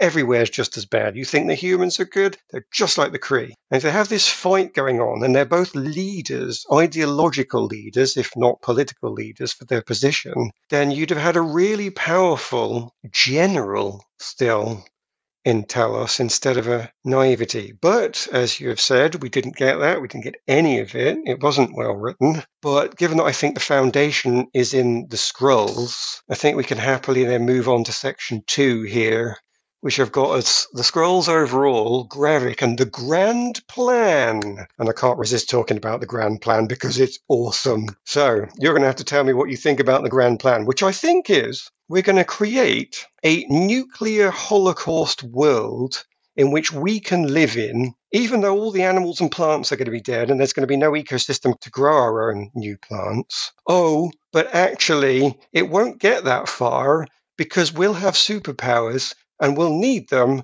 because when the Avengers come in to sort out the world war that we've started, we'll be able to defeat them too. But what if it goes to nuclear disaster? Well, I don't know, it might do. I'm just gambling on that. I've not thought it through. What about the Avenger if we don't get the harvest? Uh, I don't know. I might be okay with Groot's powers. I haven't really thought it through. so, yeah, what did you reckon to the grand plan? Do you think it was very attractive to the Skrull population in any fashion? No, I don't think it was thought out at all. So the idea of we want to take over your planet, well, that's Alien Invader 101, isn't it? The aliens always come to us and they want to take over. And again, the refugee comparison, the idea that we've let these people in and now they want to get rid of us and take over is problematic as well. And it's lost me a lot when they said there were one million Skrulls on Earth. Yeah, how did they get there? On what ships that the Sabre space station didn't see coming?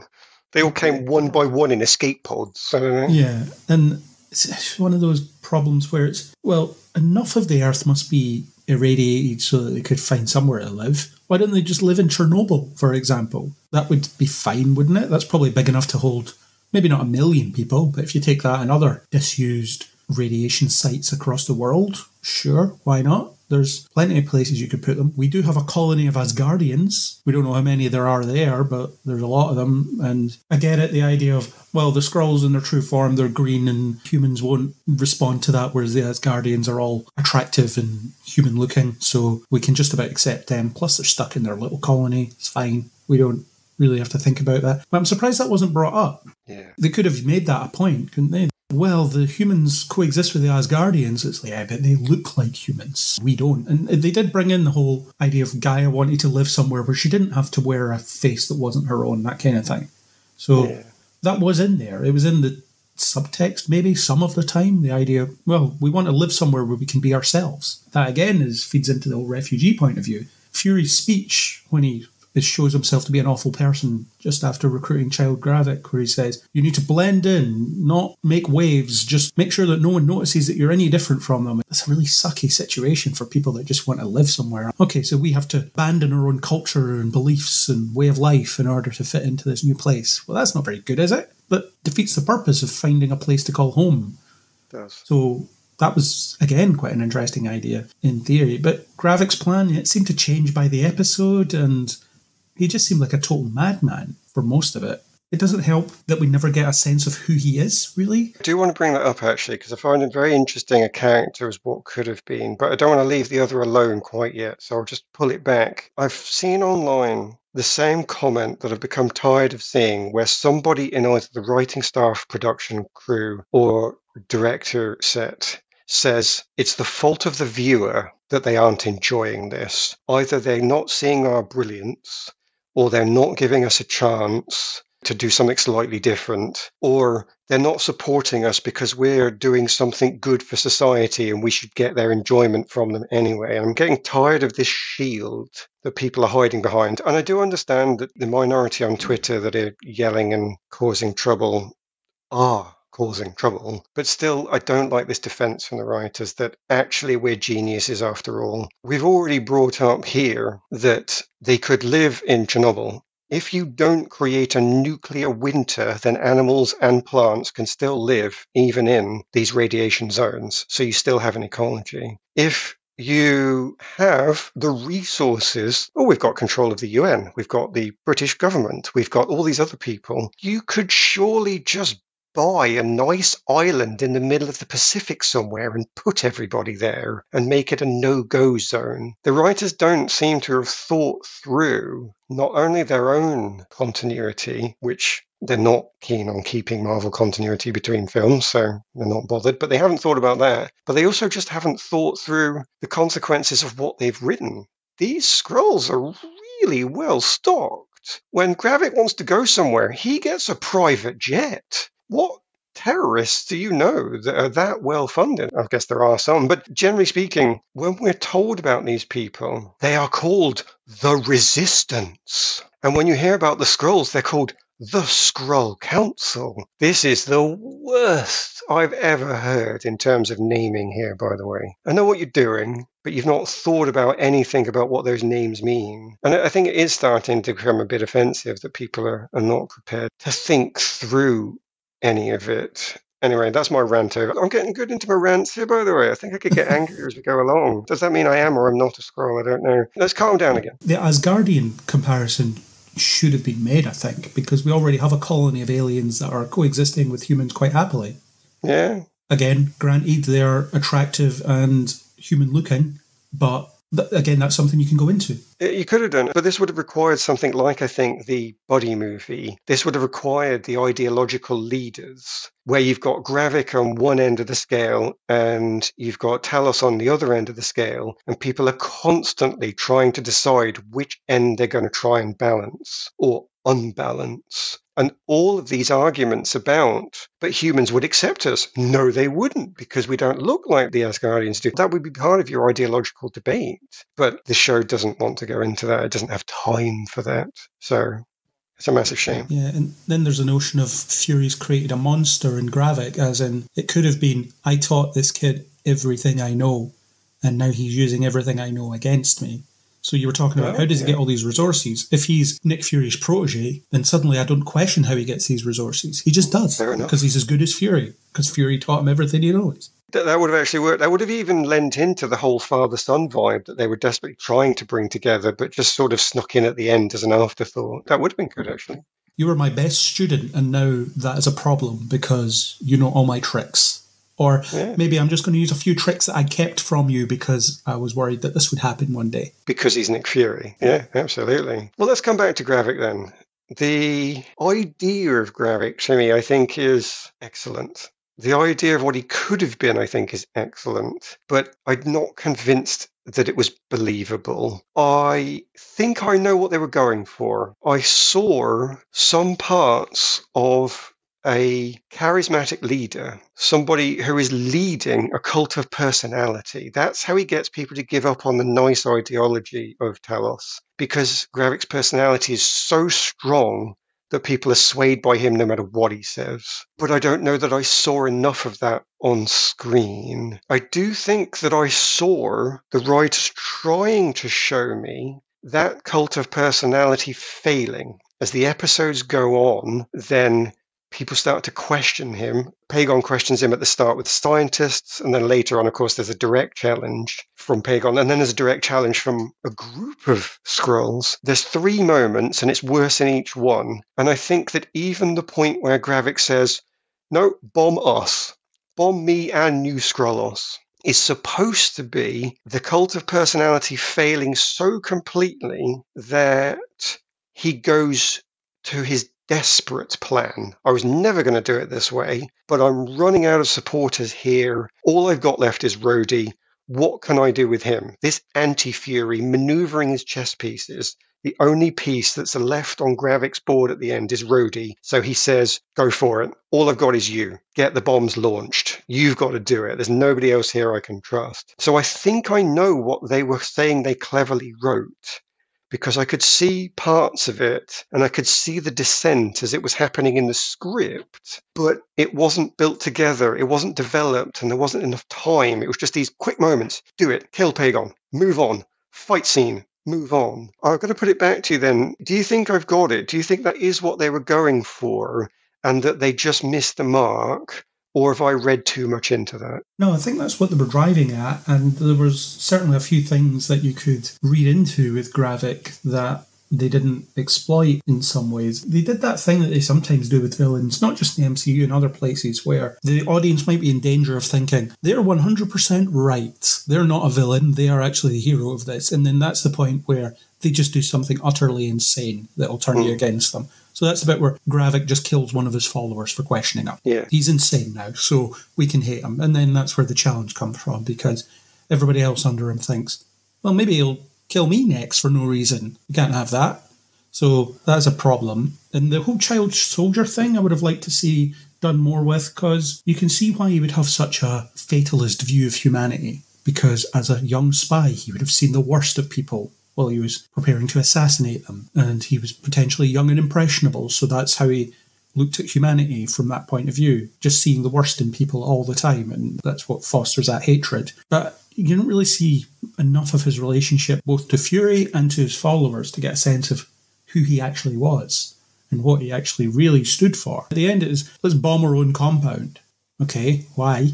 And also, where did all the other Skrulls go? Where is everybody? There's a, apparently a million people around about here. And you've got some in the field impersonating different people, but you've got close to a million people. You've certainly got hundreds of thousands of people in this compound. Where did they go? I think that's the thing. We didn't see enough of him. I would have liked to have seen if they had to take the camera off Fury and Talos to do something. I would have liked to have only spent time with Gravik, get rid of Sonya, unfortunately. As, as much as I thought she was well acted, I was tempted to get rid of that character so that you could see the anti Fury and all these ideas that you talked about where he uses Fury's tricks against him because he was raised as a protege would have been obvious. And if you spend more time with him, then that descent into madness would have been obvious because at the start he'd be really charismatic and was just following, doing whatever he says. And even when he asks them to do something horrible, they're like, yeah, brilliant, I get to do something horrible for the cause. But then as time goes on and the plans start to fail, people don't want to do anything horrible for him. There's this moment that I found utterly unbelievable towards the end, whereby the two scientist Skrulls, the male Skrull, goes completely self serving and says, I'm holding my own Skrull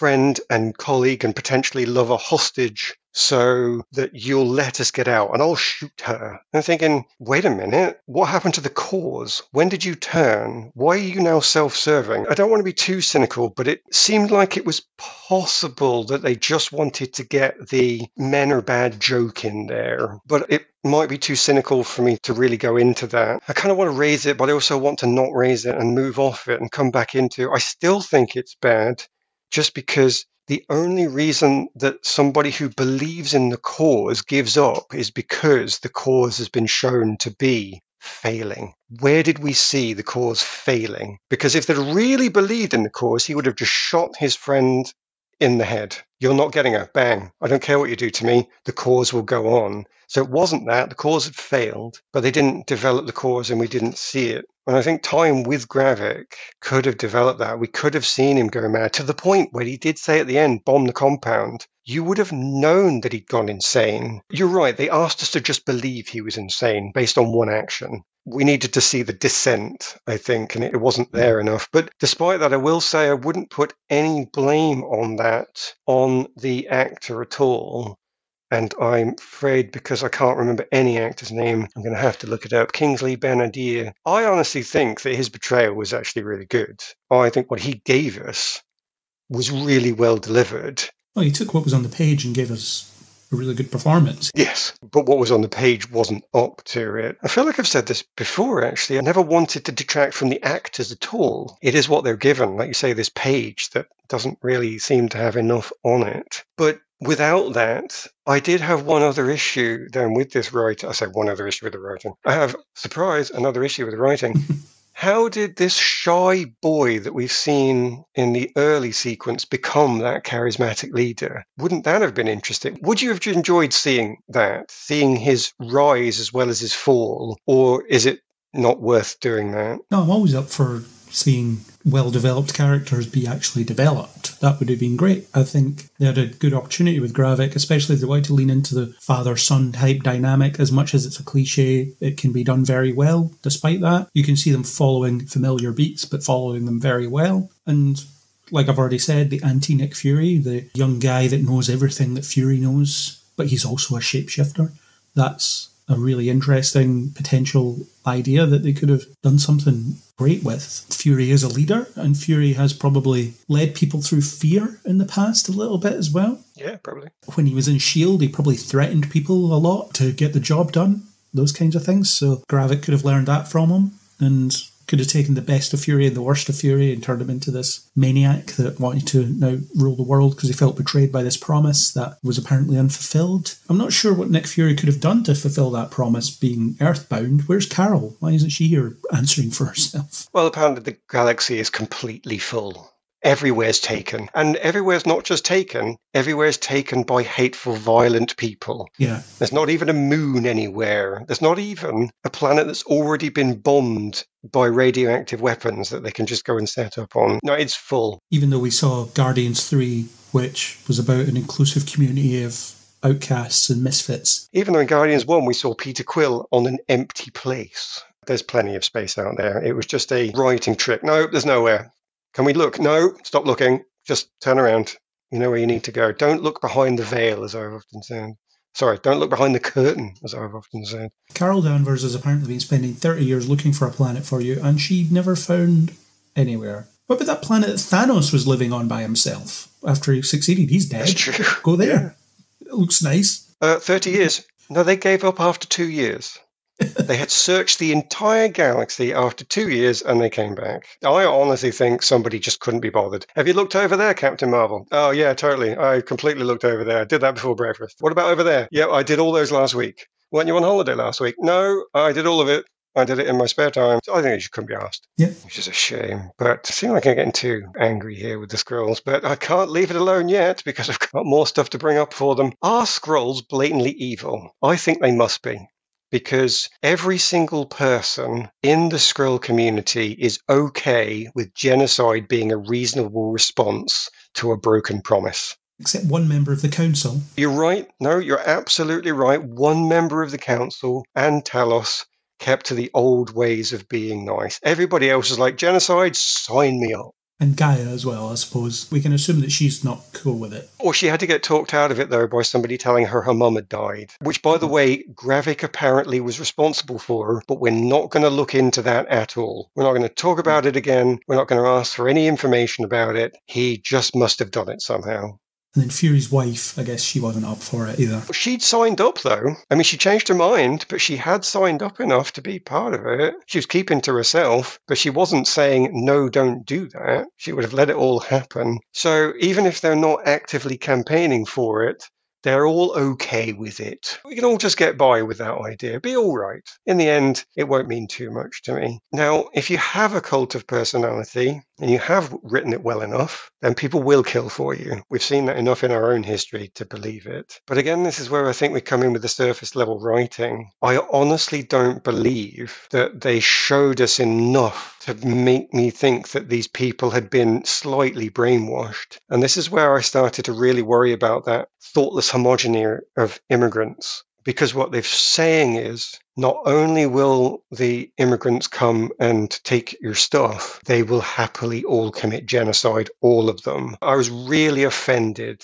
when this bit came out that it could be that simplistic, especially when the, I think it's the producer this time that said, You don't understand the brilliance of our writing. Now, I understand the danger of your writing and that you haven't taken anywhere near enough care here on what you're saying. But I don't know. Again, do you think I've misread this? You've given me three or four Skrulls that have turned their back on it.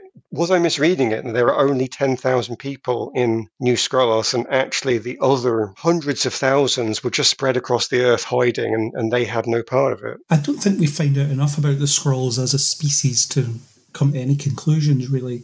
We're just told a lot of things and asked to accept them. So, for all we know, most of the Skrulls would not be up for claiming a planet at the expense of the current occupants. We just don't find out enough. Like I said before, we don't see enough of Gravik's relationship with his followers. And it seems like his plan changes about halfway through anyway. It stops being about, I want a planet, and becomes more about, I want power, and specifically powers. He wants to be a collection of all the Avenger powers. I was kind of on board with the idea of him actually lying to his followers, promising them a new home, and he's actually just wanting to get superpowers. And that could have been a bone of contention that come up at some point. But like I say, you don't get enough of that relationship. The Skrulls aren't anything more than just an army of faceless people that don't do anything. You have perfectly, as if by magic, taken me to my third of four sections here, by the way, and I can't thank you enough for that genius transition that you've done. But I don't want to cross that bridge quite just yet, because I will just say I don't think Gravik was ever self serving. If it's come across in the script, I think that's another point where the writers have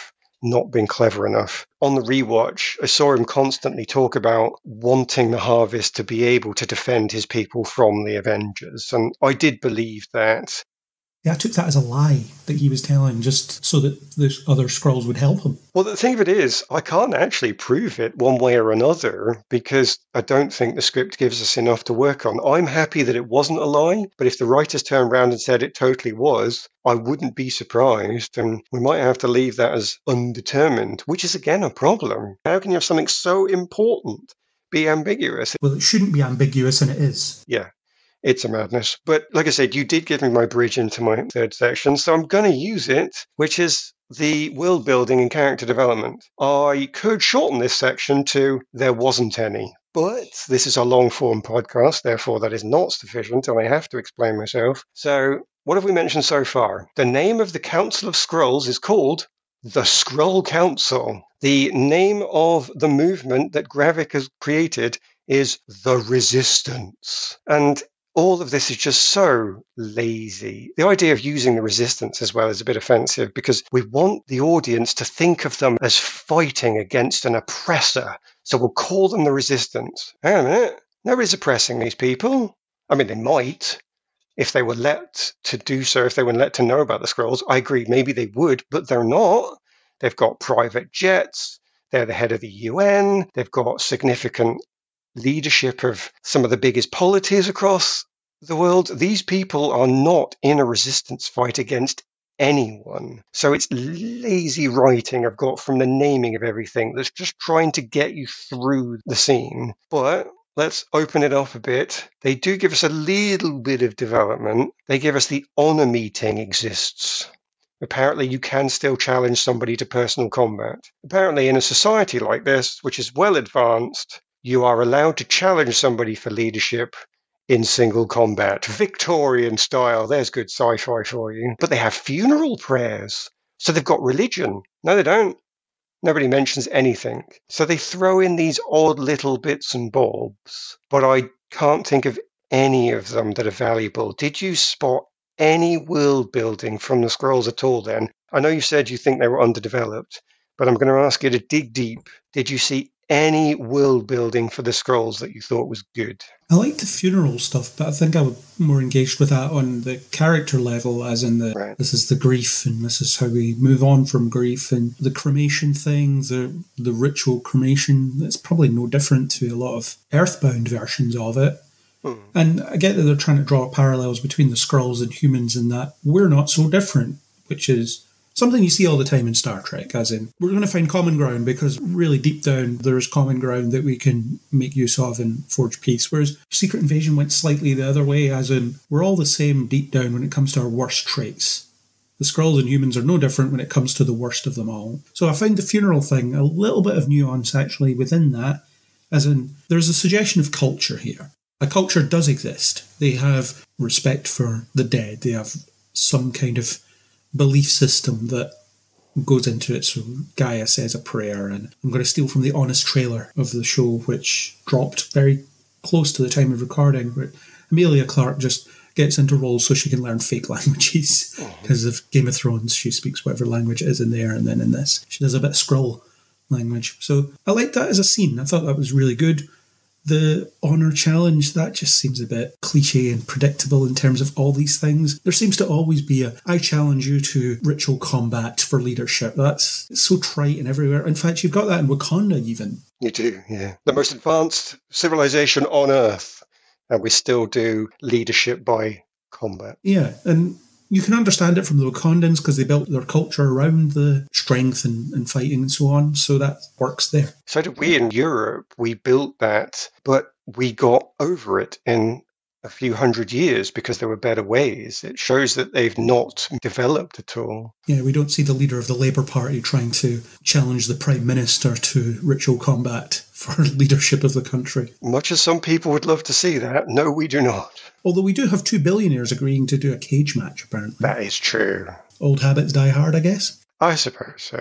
So there was the merest hint of culture in there in the funeral thing. And it's a shame it's always a funeral or kind of leadership thing.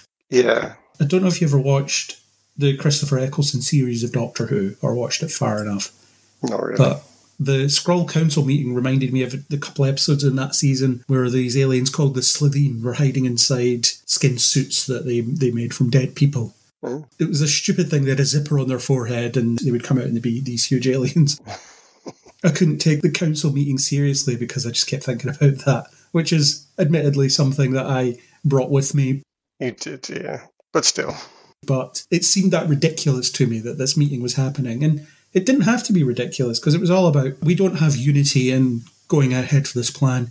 Gravik is offering us unity here by saying, I will take charge and I'll get us this accomplished. But as you've said, he's meeting with people that are posing as people in high office. So you have to wonder what limitations they have because they seem to have an awful lot of influence just by being who they are. And you've also got someone who's right next to the president who isn't at that meeting for some reason. Oh, wait a minute, because we can't reveal that person's a Skrull yet. Exactly. Yeah, it's a madness. So we pretty much said that the Skrulls were given no nuance. They were just hitting the bases. It's such a massive shame to take a whole civilization, a whole culture, and make nothing of them. And if this was any show, that'd be bad. But again, to connect these people with immigrants and refugees and not give you any nuance. It's not purposeful, it's not malicious, but again, I'm thinking this is just so dangerous to reduce people down like this and just say they bury the dead.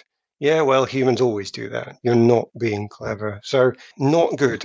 It's more than that as well because Gaia says, I want to live somewhere and be myself. I don't want our way of life to disappear by us living somewhere. and I'm left wondering, what is this way of life that you want to protect? Tell me what it is. Other than we cremate people when they die. Is there more? What is your culture? Odd little things, what they carry, what they say, superstitions that have developed over the years, even though superstition itself has been gotten rid of, but people can't get rid of that from their language. You've created a whole new language for people to speak in, but it's blatantly just English under a cover, a code almost, so people can't understand it, which is a child's game. So it's thoughtless. I think it's dangerous and I think it's thoughtless. Not malicious, but thoughtless nonetheless. Malicious would require some effort, and they weren't prepared to put that in.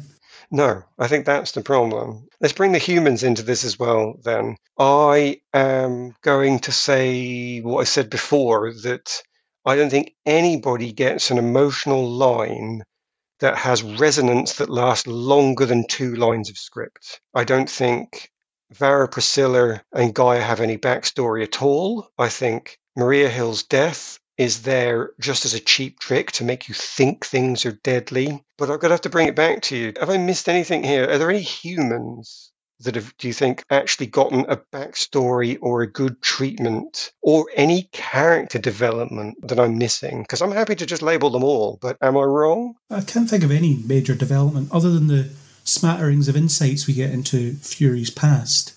The fact that he has Oh, a wife okay. is counter to everything we've come to expect of him because, well, he even says, I ignored all of my instincts in order to be with you because that's him putting down roots. That's a tie that people could exploit. That's not what a spy would do. That's not what the spy would do, as Tony Stark would refer to him at one point at least. So I think Fury is about the only one, but it's also far from a lot. Yes, and the shortcuts that they take, I think, prove it. You get in one of the episodes, and I'm not going to be able to name it here, well, but where we see, is it the poem? Is it Raymond Carver? I think it's a poem. Hmm. The episode's named after the poem. Is it? It is Raymond Carver, Late Fragment. They use it at the start of an episode to give you the relationship between the two of them. And you think, okay, this could have been introduced in episode one and it could have been defining throughout the whole series, but actually set up an immediate payoff in the same episode. Even worse, you have the scene where Fury and Vara have both got a gun. Arguably, they are both going to kill the other one because of survival requirements. And we hear the shot. And then it cuts away. But then it immediately cuts back, and you see they haven't done anything. So, again, set up and payoff immediate.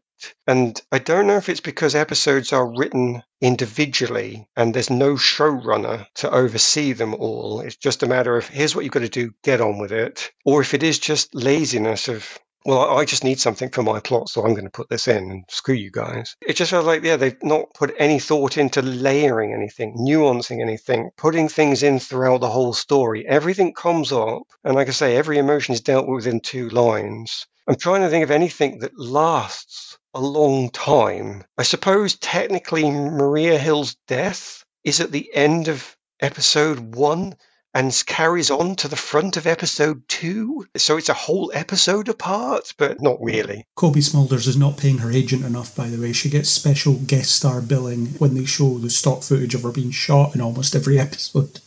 I mean, yeah, hopefully she gets good pay for that. But from the writers, it's just nothing. Let's just pick up on that. Did Hill's death serve any purpose for you? Did it create a deadly atmosphere so you knew that this script meant business? Anybody could die at any moment? Or was it just a cheap trick? I think it failed to resonate because she's very clearly in the episode to die. She doesn't do anything really otherwise. Oh, I know she's very much important in telling Fury that he's old and incapable. Who else was going to do that? Oh, wait, everybody. Sorry, carry on. Yeah, so she's there to be a fixture that you recognise because you've watched some of the MCU before. And then when she dies, that's a shame because you know her and like her from other MCU things that you've seen. But she doesn't do anything all that pivotal in the episode itself. And then everybody who was watching was probably spending every single episode wondering if this was the one where Maria Hill was going to come back. Yes. I don't think anybody actually believed that she was dead. And I still don't. The show's over, and I wouldn't be surprised if she just turns up later at some point. Ah, that was a trick. Why did we do it? I don't know. We just did because of some grander plan that you'll never find out about. So that didn't really work. Also, it annoys people because it's another example of a woman being killed to further the arc of a man when he has plenty of motivation by himself.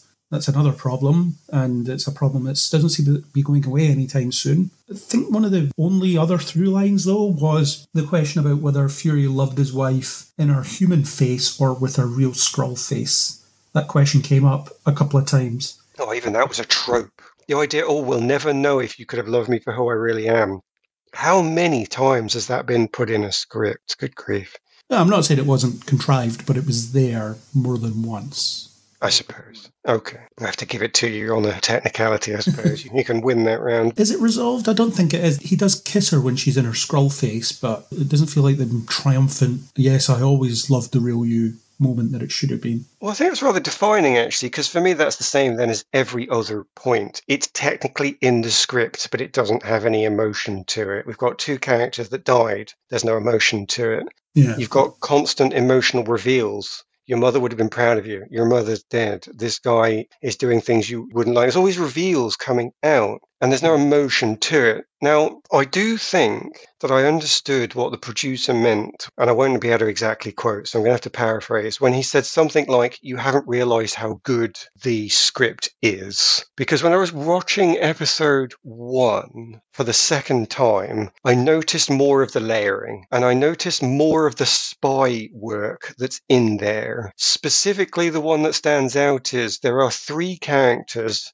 that are put in the episode that come back in Moscow Square to lead Fury to where the Skrulls want him to be. And it shows that Gravik has always had Fury under observation since he landed. And I am happy to see that stuff as being clever spy stuff. And when I'm watching episode one, I remember thinking, episode one's actually all right. I mean, it's not the way I would have done it. It's not the Fury I want to see. It's taken a few Marvel shortcuts and there's a couple of tropes in there. But if I allow MCU to be the MCU and the Marvel genre to carry on, oh, there's actually some some layering of stuff in here. They've thought about some of this except the opening, which we're going to come back to. But they've thought about some of this. So you see the little girl playing with a ball. Little girl comes back.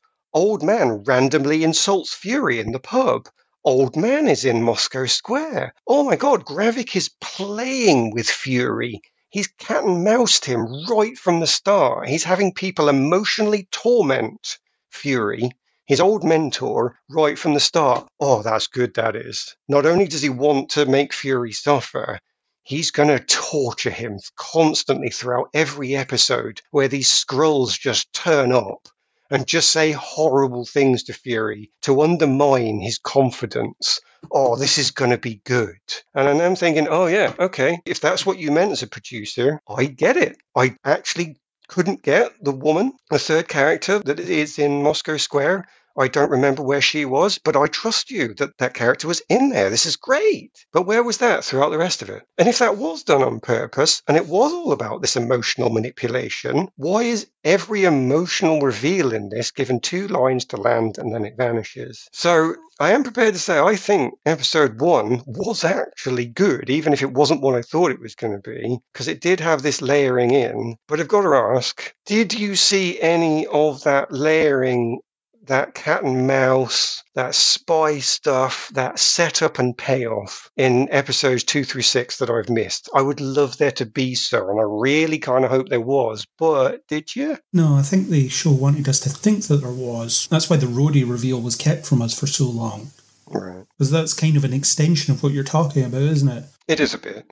Well, look, he has another operative in a place that Fury is looking for support. And that's another avenue of support cut off from him. Sounds great on paper, but the execution of it wasn't great. I think they could have used Maria Hill's death better, even as well. Have various Skrulls pose as her throughout. Oh, the torture that would be that way. Yeah, see this person, you couldn't save her. Oh, that would have been brilliant. Yeah. Because they establish the whole, well, they don't really establish it in this show, actually. It's more established in Captain Marvel, and you just have to remember it. But the device they hook all their human subjects to gives them the memories and stuff. Mm. But as far as I know, they can still turn into whoever. So they don't need to have Maria Hill's memories, they just need to look and sound like her to Oh, put them off a bit. Or even Gravik could say, We've got the real Maria Hill in her basement somewhere. They could have done that. Yeah. And then you could play with the fact that the audience are assuming that she's alive. And we're just waiting for that penny to drop. And then they rescue everybody at the end, and she is not there. What could have been, and let's extend that into Everett Ross's appearance. Was Everett Ross done just as badly as this, or was Everett Ross actually the unique character that was actually awesome? Question Did you think that was the real Everett Ross at any point?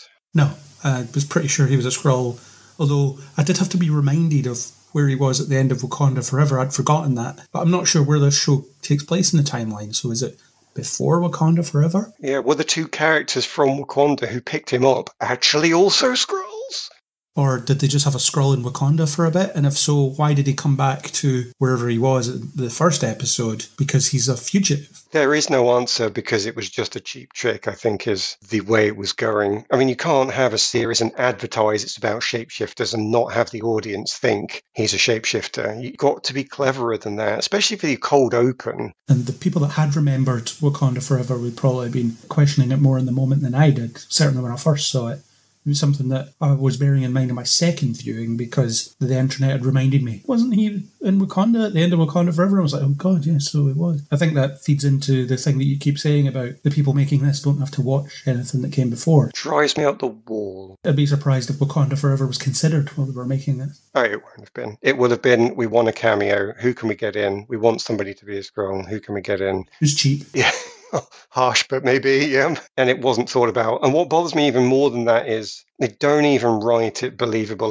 I thought Prescod, I don't know who played Prescod, but I full marks for creating a paranoid character. But the very instance of, I can't trust anybody, but here's my entire plan. Oh, and by the way, I'm just going to get you everything that I've got and give it over to you physically. So I've got nothing and you've got everything. Walks away for a bit, and then there's nothing in the script. So the poor actor doesn't even have a reaction. He's been brilliantly paranoid, but when he walks two steps away from Everett Ross and turns round, there's no look on his face to say, oh, you must be a Skrull. There's no look on his face to say, ah, this was part of my cunning plan. I'm giving you this because it reveals you a Skrull. He just attacks him because the plot force needs him to attack Martin Freeman. Yeah, it's also the cliche crazy wall, isn't it, that you get with all these things. The Charlie Day meme. It is. And it gets even worse. Everett Ross has to not have the strength of a Skrull during this fight because it would reveal that he's a Skrull before the script wants him to. Therefore, he has to immediately be knocked over and use his gun to kill Prescod. When a Skrull with the strength to rip through chains should have just pushed that admin guy away easily. So it's lazy and it's done for the audience. It's the worst use of the plot force I've ever seen. I am surprised I didn't turn off this show at the end of the opening sequence in how disgusted I was with the use of the plot force. But for some reason I did stay and I did come to like that spy torture of someone's emotions that I've just mentioned. So they did get me back, but God only knows how. So I'm going to say Prescod acted really well to give me the paranoia, but everything about the scene truly laughable. Can you tell me anything that I've missed on how awful it was? Because I'm pretty sure you can't tell me it was good. It's something that sort of passed me by. I just forgot about it pretty quickly after it. It seemed like quite a lot to throw at you in the opening scene of the show as well. It just gives you this onslaught of information about they're everywhere, aliens are everywhere, Skrulls are everywhere, blah blah. And I'm just like, who are you? Yeah. Why is this important? And if I'd remembered Wakanda forever, unlike the people that wrote the show apparently, I'd have been thinking, why is Everett Ross here? Shouldn't he be in Wakanda? When are we? What's going on here? I don't know. It's a very confusing scene, really. It is. And the hate is going to continuously flow through me. So I'm afraid we're going to have to pull it on to my fourth section because I need to find something positive. My fourth section on this is the idea that sometimes there can be good stuff, even if you aren't seeing a level of consistency that is going to please you. So I'm going to have to ask you to tell me something else good that you liked about this show. I just need to hear it. I need to hear some love. Give me some of that. I know that we'll have a whole section on this, but I actually thought the Super Skrull on Super Skrull fight was quite cool as a spectacle. I quite enjoyed it. Oh, okay. Do it. Yeah, that's my lead in. Perfectly. You've given my lead into the section then. Tell me about that and how good it was. Superficially, it was just two people duking it out with a variety of powers. I found it to be decent spectacle. I know people criticised it online because they said it looks bad and whatever else. I thought it looked good. I think they visualised the powers quite well. The fight was long enough, but not too long, so it didn't outstay its welcome. Again, superficially, I enjoyed it as a scrap. I think that's what I'm trying to get to with this whole idea of this line between objective consistency and the subjective enjoyment. And you've got a point along it. One of the things that really bothered me about this show was I don't think it's more inconsistent than Multiverse of Madness, but I recognize that Multiverse of Madness did something better. I don't think it's more inconsistent than Black Widow, Guardians 3, but I recognize that they both did something that this show didn't do. And at the start, I said, what could it have done to give you enough enjoyment that you wouldn't have looked behind the curtain? And we've already said then Fury is one of the things. If we'd gotten a spy story, it would have covered over it. But here, then, there's this superhero moment. The coolness of this fight is enough to give you some enjoyment. You get some emotional feeling from it. We don't get emotional moments from the tragedy from before, but at least we're getting the excitement of the fight. I wonder if there's anything else that was cool in there. I'm going to chuck one out for me. The moment that it's Gaia, not Fury, comes out of the dust when she's knocked over the big chimney with Gravik's body. I thought that was absolutely stunning. This black coated figure just comes out of the dust it's almost like he or she, depending on your perspective, is death itself coming from the veil to take Gravik's life. And if I could pause that moment and just live in it, I'd agree with you. That was cool. But of course, it's a single moment. Do we think then that they could have done more cool? If they're not going to give us spy, but they do want to give us cool, could they have given us maybe a suave Samuel L. Jackson. I mean, this is the guy who played Shaft. We know he can do that. Is there anything else then that you reckon they could have done that would have. Oh, were there more cool moments, or could there have been more cool moments? I definitely think there could have been, yeah. I think there's plenty of opportunities for Nick Fury to prove that he was in control of the situation all along. And he was playing everyone to move them into the place that he needed them to be so that he could solve the problem. That could have been a cool moment where the end reveal of the show is, ha ha, everyone here has done exactly what I needed them to do, and I've won. that would have been, yeah. What about the attack on the presidential motorcade then? How was that not either cool enough or not good enough action? Or was it, actually? I thought it was an okay sequence. Found it difficult to follow because it was identically dressed people shooting identically dressed people, so there was aspects of it where I wasn't sure of the geography of the situation, but I thought it was a reasonably well executed action sequence, apart from the parts of it that weren't well executed. Nick Fury shot down a helicopter with an RPG, which is, of course, referencing the time he shot down a plane with an RPG in the Avengers. Stuff like that. All right. Callbacks then not being enough for you. Is that fair to say? I like that as a callback by itself. I thought it was fine. And yeah, I thought that sequence was okay. As long as I didn't try to interpret it too much, I suppose. I was able to just enjoy it on a, again, a superficial level. But if I was trying to look into, here's the point where this happens and here's the point where the tide of battle turns and stuff, I wouldn't have been able to identify that, but it was well put together. Yeah. Well, it was and it wasn't, I'm trying to say, I guess. Yeah, there were parts of it that you liked. I mean, I didn't like the fact that, again, it's the immediate setup and the payoff British soldier sees alien and reacts badly. Then immediately in very next scene, British soldier appears to have made peace with alien and moves on. And somehow Fury recognizes that British soldier is actually Gravik, but Gravik is over there and can't possibly have come forwards this far dressed as British soldier. And you're thinking, somewhere along the lines here, this is impossible. Even Gravik's tactics as well, you have to question because it's been established that you don't really have to do much to figure out that it's a Skrull. They can't seem to maintain their shape when injured. But you take Skrulls into a situation where probably at least one of them's going to get shot because it's a free for all. There's bullets flying everywhere. And if your intention is to make them believe that we're Russians, there's a high chance of that falling apart. Yeah. It's a shame. I think I'm happy to say with this, and it seems like there are little moments throughout that we've all enjoyed. I just want to chuck a few out there, actually. I've already said that generally the acting I thought was good, and people's reactions to the script, even though they can only react for a couple of seconds, they use those two seconds really well. I liked that, well, like you said, Talos and Fury going back and forwards with all the jokes they got, even though I didn't like the character. Odd little things like Talos is really good as flirting as a hot woman. Brilliant. Well, I like the idea that he is actually a really good spy and he can show off his skills. The music in the museum cafe takeover, where everybody turns into Gravik, it was really chaotic. And I think it points out a massive problem in the script because if the Skrulls can take over an entire museum cafe in the middle of the day and not cause any trouble, so they've somehow got enough resources to displace all of the people that work there and all the people that were going to be in the cafe without causing any trouble, no security camera trouble or anything, then they can do whatever they want. They have no trouble. But if I take that nonsense out of it. The music playing over that was really evocative. And even like Sonya's humor in episode five, I don't like her, I'm going to say horrible things with a chirpy voice from a person in a position of power. I just find it offensive, not funny. It's just annoying and smarmy. It's, I've got all the power in the universe and you have none. Oh, it just rubs me up so the wrong way. Arguably, that makes for a good villain in Val, but not in Sonya, who is supposed to be a good guy. But when she says, Oh, there he is, because the person she's been talking about with the gun that should have been protecting her took a bit too long to turn up, she's suddenly saying that chirpy phrase from a position of weakness. And from a position of weakness, it's actually really charming. I laughed at that point.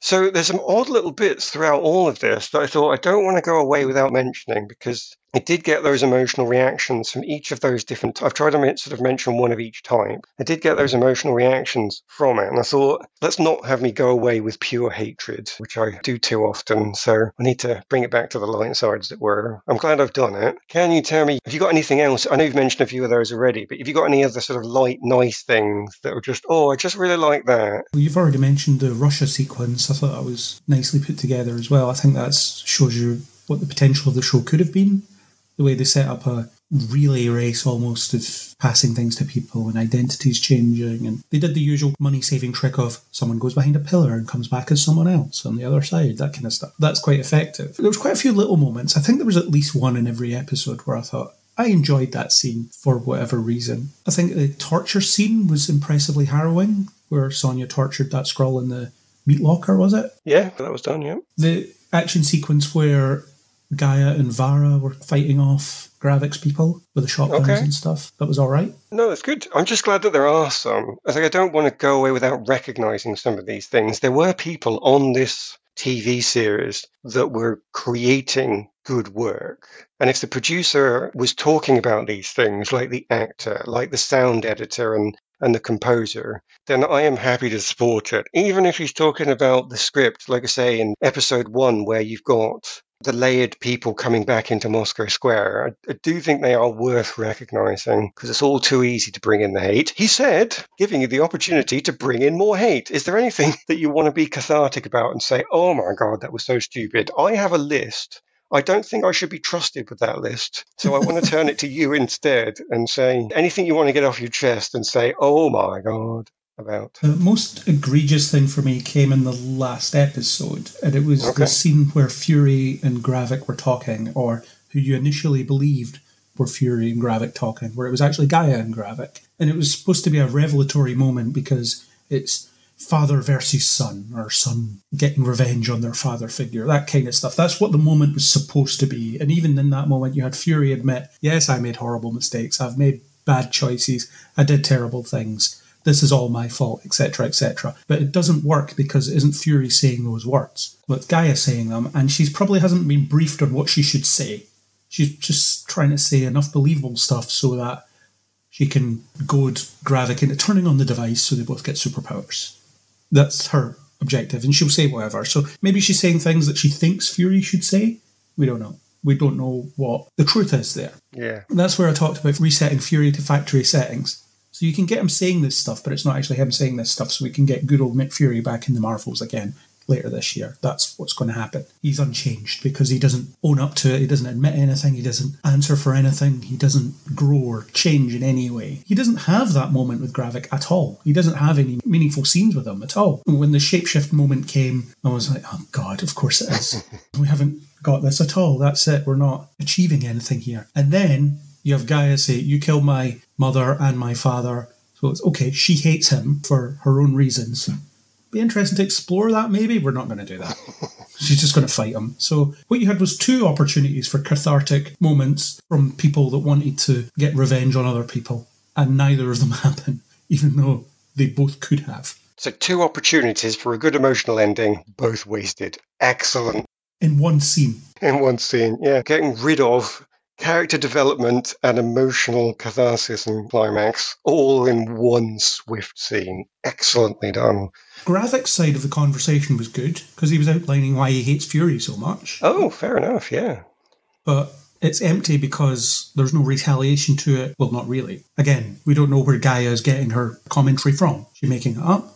Does she think that's what Fury should say? Don't know. Yeah, there's no emotional weight to it at all because it's utterly irrelevant. It's nice that Fury has moved his piece on the chessboard. Arguably, his pieces have, have been removed, but he does have a queen left, and his final movement of victory is to move the queen into position. So, arguably, it is a Fury thing to do, but with no emotion or payoff to it at all. So, it undermines itself, even though it's doing the right thing. And it teases us with something that we, in theory, as the audience, want and then takes it away from us. which makes it even worse. because they have to get the Marvel fight in. Arguably, Fury should have met Gravik, and Gaia should have dealt with Rhodey, because Gaia would have Talos's naive, but if they'd have done it properly, good-willed ideology, and Rhodey is the representation of Gravik's broken philosophy, and those two philosophies fight. And of course, Gaia's philosophy wins. And then Gravik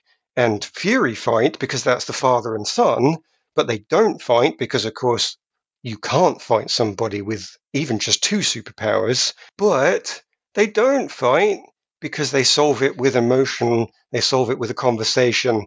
Fury just admits defeat, but somehow manages to talk Gravik round because of layering that they've done. So they had this opportunity for two perfect pairings that meet the plot force's requirement for everybody must have a villain to defeat. They could have even done that with what they'd set up, and they switch it purely to give you the fight, which at least you thought was a good fight, but it was the wrong fight for the emotion that they'd teased, even if they'd not set up. Yeah. Another infuriating thing Oh, please carry on. in the same episode was where you had Sonya and Fury trying to convince the president that Rhodey was a Skrull. Oh my god, yep. Do it. He's a Skrull. He's a Skrull. You need to believe us and stop this bombing. And Sonya, we have seen shooting people in the leg to prove that they're Skrulls, cutting fingers off. She's done Yep. various things. She knows how to root out a Skrull immediately. She's right there.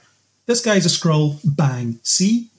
Job done. We've solved it in two seconds. Even just take a surgeon's scalpel from some local OR and just cut so it shows purple blood. That's it. Yeah. Don't even have to go overboard. You can really go quite neat and, if you will, surgical with it. Oh, no, infuriating. Carry on, bring it out. This is good. This is cathartic. Any more? And the Rhodey Skrull reveal is another annoying thing. I was actually okay with the notion of Rhodey being a Skrull, although I would have preferred it if Rhodey had always been a Skrull. So the Rhodey that we've always known has always been a Skrull. It's a Skrull that took the form of James Rhodes for some reason and befriended Tony Stark, etc., lived a human life, and now we're finding out that they're a Skrull. Instead, it's recently replaced, or replaced a while ago, depends who you ask, and the Skrull's name is Rava, which ends up making no difference because they don't characterize her at all. And the fact that they don't even have the courage to tell you when Rhodey was replaced, because they're clearly going to wait and see what people think and change it later. Right. Gaia says to him, You've been here a long time, but she doesn't specify when. And people have theorised that because he's in a hospital gown, it was during Civil War. So he's been a Skrull since then, which undermines Endgame because we saw a really emotional reaction to Tony Stark's death. So that was apparently a Skrull. I would need to watch Infinity War and Endgame again to see if he bleeds at any point. Yeah. Maybe he does, I don't know. But if we're expected to believe it's that long, then no. It would have to be five minutes before the show started, really, for any of it to make sense, because obviously they didn't plan it ahead of time. This is the thing. And they can't commit to it yet anyway, because No. they're going to wait and see and then decide later. Actually, I'd not thought of that before. But like you said, if they'd have made him a Skrull for 15, 20 years, then that Skrull might have actually had a real relationship with Tony Stark and actually felt something despite being an undercover spy. That old problem that they talk about actually with undercover policemen that end up having real trouble because they get so connected with the people that they're undercover with. And you could have had a real big moment. But no, they just undermine it for a cheap, oh, look, we're so clever. Look at what we've put into the script. No, you haven't. You've just built on somebody else's foundation a stupid little stick house that means nothing. No, you don't get marks for that. That's offensive. The real James Rhodes died in their early military career, and this Skrull assumed his identity and carried on from there.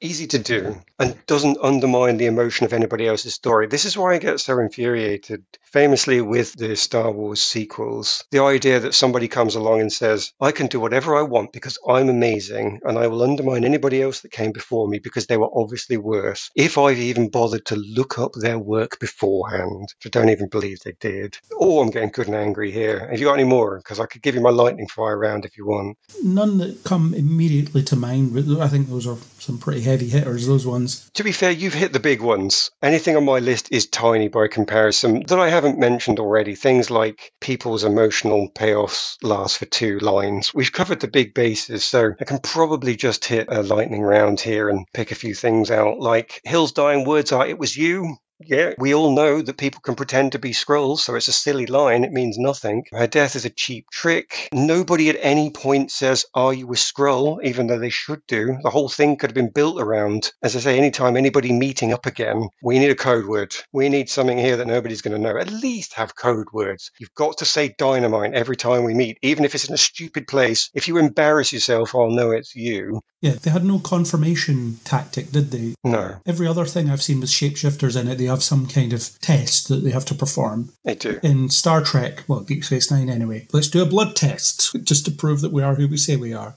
Just anything. Yeah, it doesn't matter what it is, just anything. Right, I've got a Rocket Man moment. Fury leaves Hill's body at the end of episode one, but the start of episode two, he's back with her body. So it's a total Rocket Man moment. He then gets bundled into a van by Talos, and they don't even have a tap you on the shoulder to make it seem like, oh, you know it's me. This is just for cover, which I assume is what it's supposed to be. Gaia has absolutely no time to absorb Groot and Cull Obsidian's powers before she runs away from the compound, but still somehow manages to do it. There's a cheap line that Talos gives Fury about please respect the past. You shouldn't undermine the past for your own means. And I'm thinking, fair play if Talos is going to say it and they want to undermine Fury's character. But Marvel, how dare you put a line in about not respecting what's come before? When you have no uh, intention of reading previous scripts. It was offensive. Couldn't believe that. I could go on, but I honestly don't know if this is enjoyment or people will just get annoyed. I've got a list here that just goes on for frickin' ever. Why the two Skrull doctors suddenly in England so that Sonya can get them? What was that about?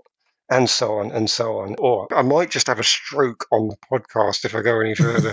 Let me just count up. Call that 10, call that 20, call that 30. I think I've got 40 bullet points for a lightning round of, oh my God. And that's just these little small things that were less than yours. I think you've covered the big ones, and I'm happy to, to sit with your big ones. But there were little bits out there that I understand why people are cutting this up. The objective consistency of this internal to Secret Invasion is just not been thought about. I think they were relying on the coolness factor, the emotional moments, and good action to get them through, except episode one, which I will give them because they got those layered spy movements.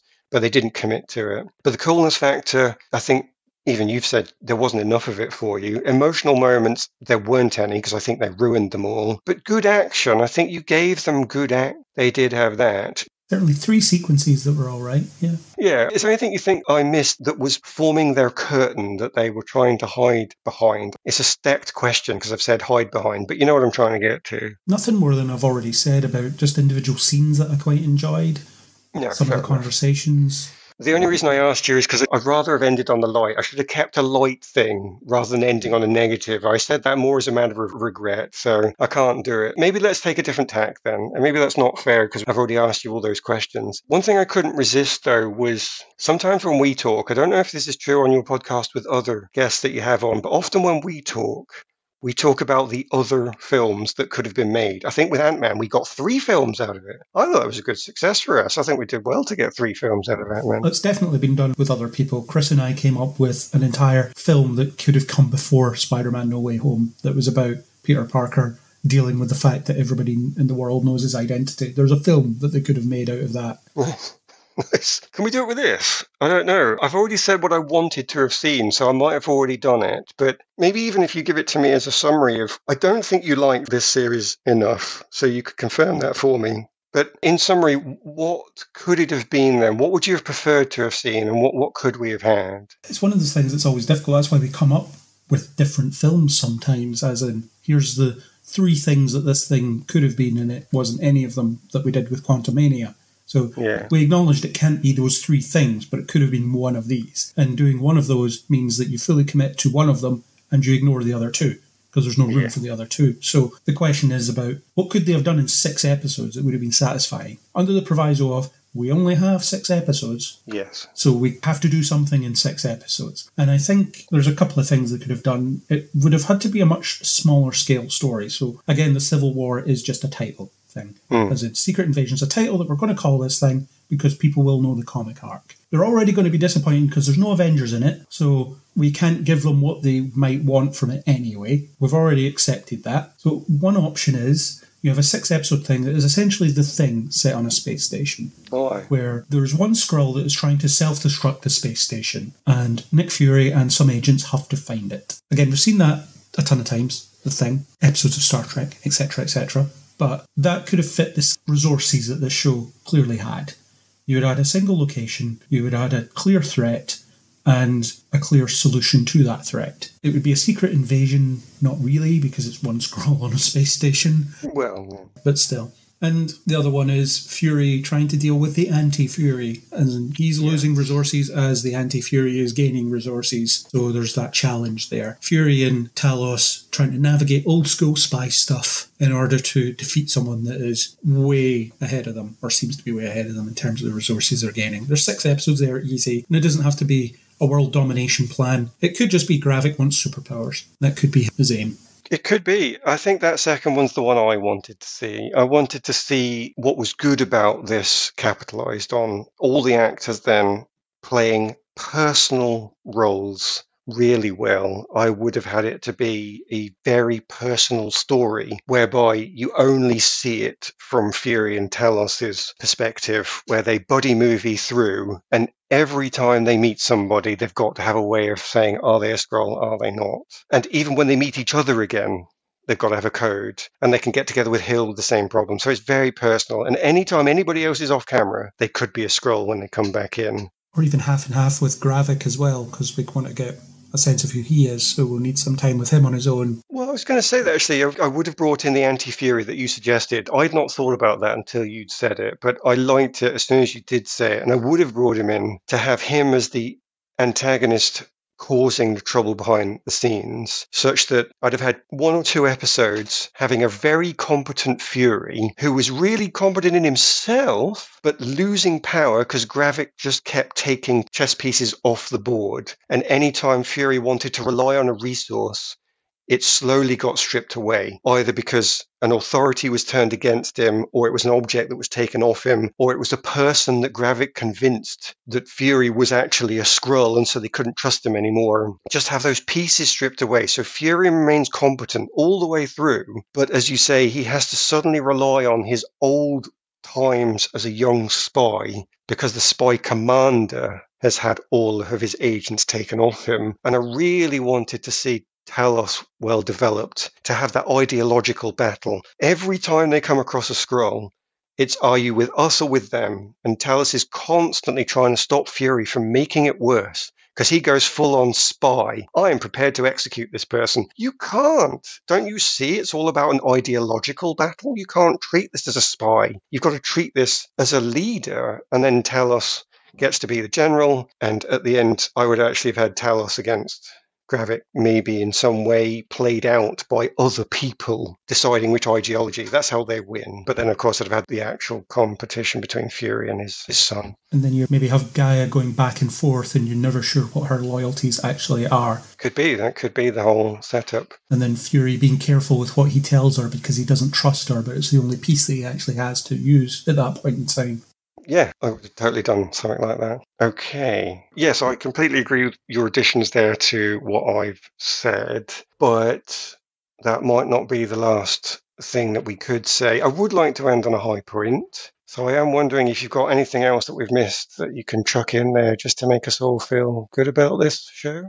Well, this wouldn't be a high point, but even though I enjoyed that Super Skrull fight, there's things about it that irked me on reflection. So you get the list of powers that's getting installed into the Super Skrulls, and I went and got this list myself. I could have probably got it off the internet, but I did it myself Oh, because I'm the only person I can trust in line with all this. So the powers are Flora Colossus, which is Groot, Korg.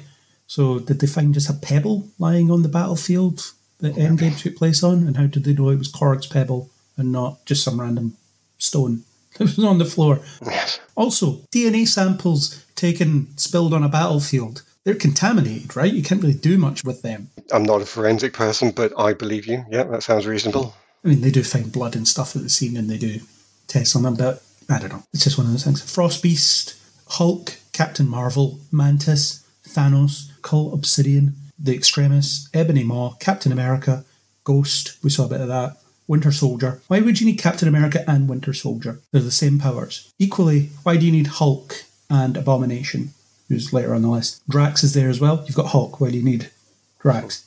Corvus Glaive, Abomination. Again, you've got Hulk. What do you need that for? Proxima Midnight, Outrider, a Chitauri. They're not powerful, are they? They're just aliens. They're killed pretty easily. They shot them with guns. What powers have they got there? Valkyrie, again, you've got Hulk. Thor, why do you need Valkyrie and Thor? Gamora, what powers does she have? The collection is very weird. I think they could have just confined it to a few. Captain Marvel, obviously. Hulk. What more do you need, power wise? Personally, I would argue you've got Captain Marvel. Who else do you need? Yeah, but we've never had the fight between Hulk and Captain Marvel, so we don't know who's stronger. Okay. I thought she was acknowledged as the most powerful. Ghost, okay, I'll give you that.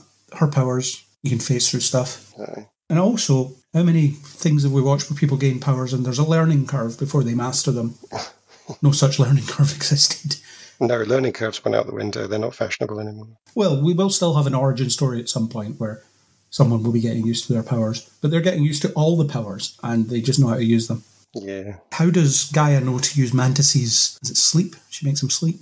yeah. How does she know how to do that? Is there an instruction manual that's installed at the same time? I know I'm nitpicking made up crap here, but it's one of those things. Okay, but that I wanted to end on a positive note. Turns out we can't. That's all right. That's just the way it is. I've got to end on a cathartic note instead. Well, maybe you can. Maybe there is other positive things that can be said. No, all I'd have to do is go back and say I thought the actors were good. That's the best I can give you. I'm just going to have to go there. I suppose one question for you is since you may or may not be watching any more Marvel stuff, where do you think any of these characters will go next? Because we get a couple of teases, don't we? We get Fury's back in space. We know he's in the Marvels, so he'll be doing whatever he's doing in there. Well, that's it. And Gaia gets recruited by Sonya. I'd heard there was some sort of Team Britain happening by rumour rather than any knowledge, but Hmm. I don't understand how that's possible because Gaia can do everything, so she doesn't need a team.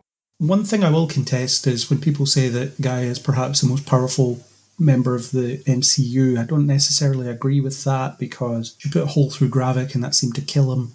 I think she just has a lot of powers, but she wouldn't necessarily be invincible. That would be better if it was that way. I'd be happier with that. And then she could be part of a team. She's very powerful, but I think maybe even Captain Marvel could take her. That's my guess. It would be sensible if they did it that way. But I will answer your question by saying, honestly, I don't know that I know anything because other than Gaia, they've not developed anything at all. I mean, they didn't develop Gaia, they just physically gave her powers. So honestly, I don't see how this goes anywhere. I think this all just gets forgotten. I think they'll bring Emilia Clarke into a new show, be it film or TV series, and she will be exposition introduced in there, and everything that's been in Secret Invasion will be utterly pointless meaningless. So where does it go? It just carries on with whatever they'd got planned because this was irrelevant. We know there will be a throwaway line in either Thunderbolts or Captain America. I forget which one comes first. I think it's Captain America, where Harrison Ford will show up and say, The last president sucked. I'm here now. Exactly. Yeah, there'll be nothing of any note. No. Because Fury says to the president at the end, Turns out you're Donald Trump. And you are, as of this episode, even though we've no evidence of what kind of president you were before this point, but you're that now. Apparently, you're this maniac that tells people to gun aliens down in the streets, even though they have no way of finding the aliens. And does he mean Asgardians as well? What's he says? Any non human. There's a specific wording he uses, but basically it translates to any alien, and that would include the Asgardians that are living in peace in Norway. Surely. Yeah, we could say let's be technically accurate and go and find it, But what's the point? We've already said it's not going to mean anything. They're just going to put their own new plots in and not worry about what's gone on here. So you'll get the exposition you need from the next show or film, whatever that is, and presumably be asked by a producer to be happy with that. Why are you questioning it? Just love us, and you either will or won't. Yeah. Oh, I feel bad. Oh, I don't feel good. Need to come back round to something nice. I think we're going to have to do our summaries. I think you're going to have to do a summary, and I'm going to ask you to end on something positive for your summary. Summarize this for me, but end on something positive. My summary is I wasn't keen on this show. It very quickly lost me after what was an okay first episode. I think it went pretty sharply downhill after that. As we've said, it's pretty clear that there was no actual plan on how anything was supposed to come to fruition, how it was all supposed to progress. It was just a procession of stuff happening, and they tried to hide it with good actors or good scenes between those actors or the odd decent action sequence. But this was far less than the sum of its parts overall, I think. And there may be a couple of things that I'm vaguely interested in. I quite like the idea of Rhodey picking up the pieces of whatever his Skrull imposter did during the events of Armor Wars. They didn't really set that up here. I wouldn't have minded an actual proper scene with Rhodey after they rescued him to say, okay, turns out my imposter gave away a lot of Tony Stark's stuff and got to sort that out now. I'll be back in a couple of years with my own film to do that. I don't know if you could have got a Harrison Ford cameo, but they could have perhaps referenced Thunderbolt Ross eyeing up the presidency as a threat to that. Maybe, I don't know. I would like to see Gaia again because I think there's an interesting character in there somewhere. I just don't think we got her in this show. And I don't know what context she would come out in. I guess Carol would perhaps have a history with her in some way because, well, we saw that they met when she was a child. But the whole mother stuff, could we have not had the mother in an episode to underscore the weight of that loss? Show how it happened, maybe? I don't know. So there's a lot of bits here that might be okay if we see them again. That's always the case, isn't it? Oh, there's that element yes. here that we could take somewhere and put somewhere else and might be all right if they do that. But yeah, I can't see where Gaia would turn up except in a Captain Marvel ish project of some sort, because it makes the most sense for her to reconnect with Carol, I guess. Maybe she's in the Marvels, we don't know. Well, well. Yeah, I don't have an awful lot positive to say here. if they replace Valentina with Sonya, I'll be happy.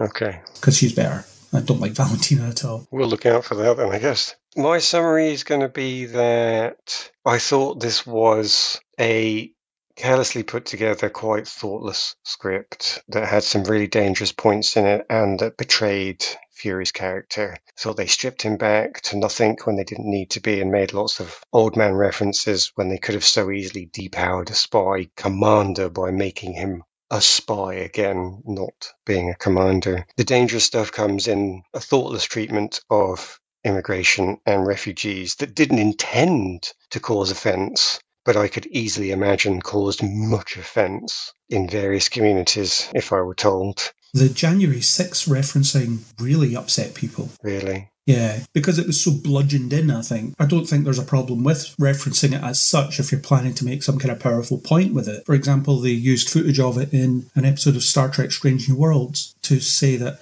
this was part of the beginning of what spiraled into World War III.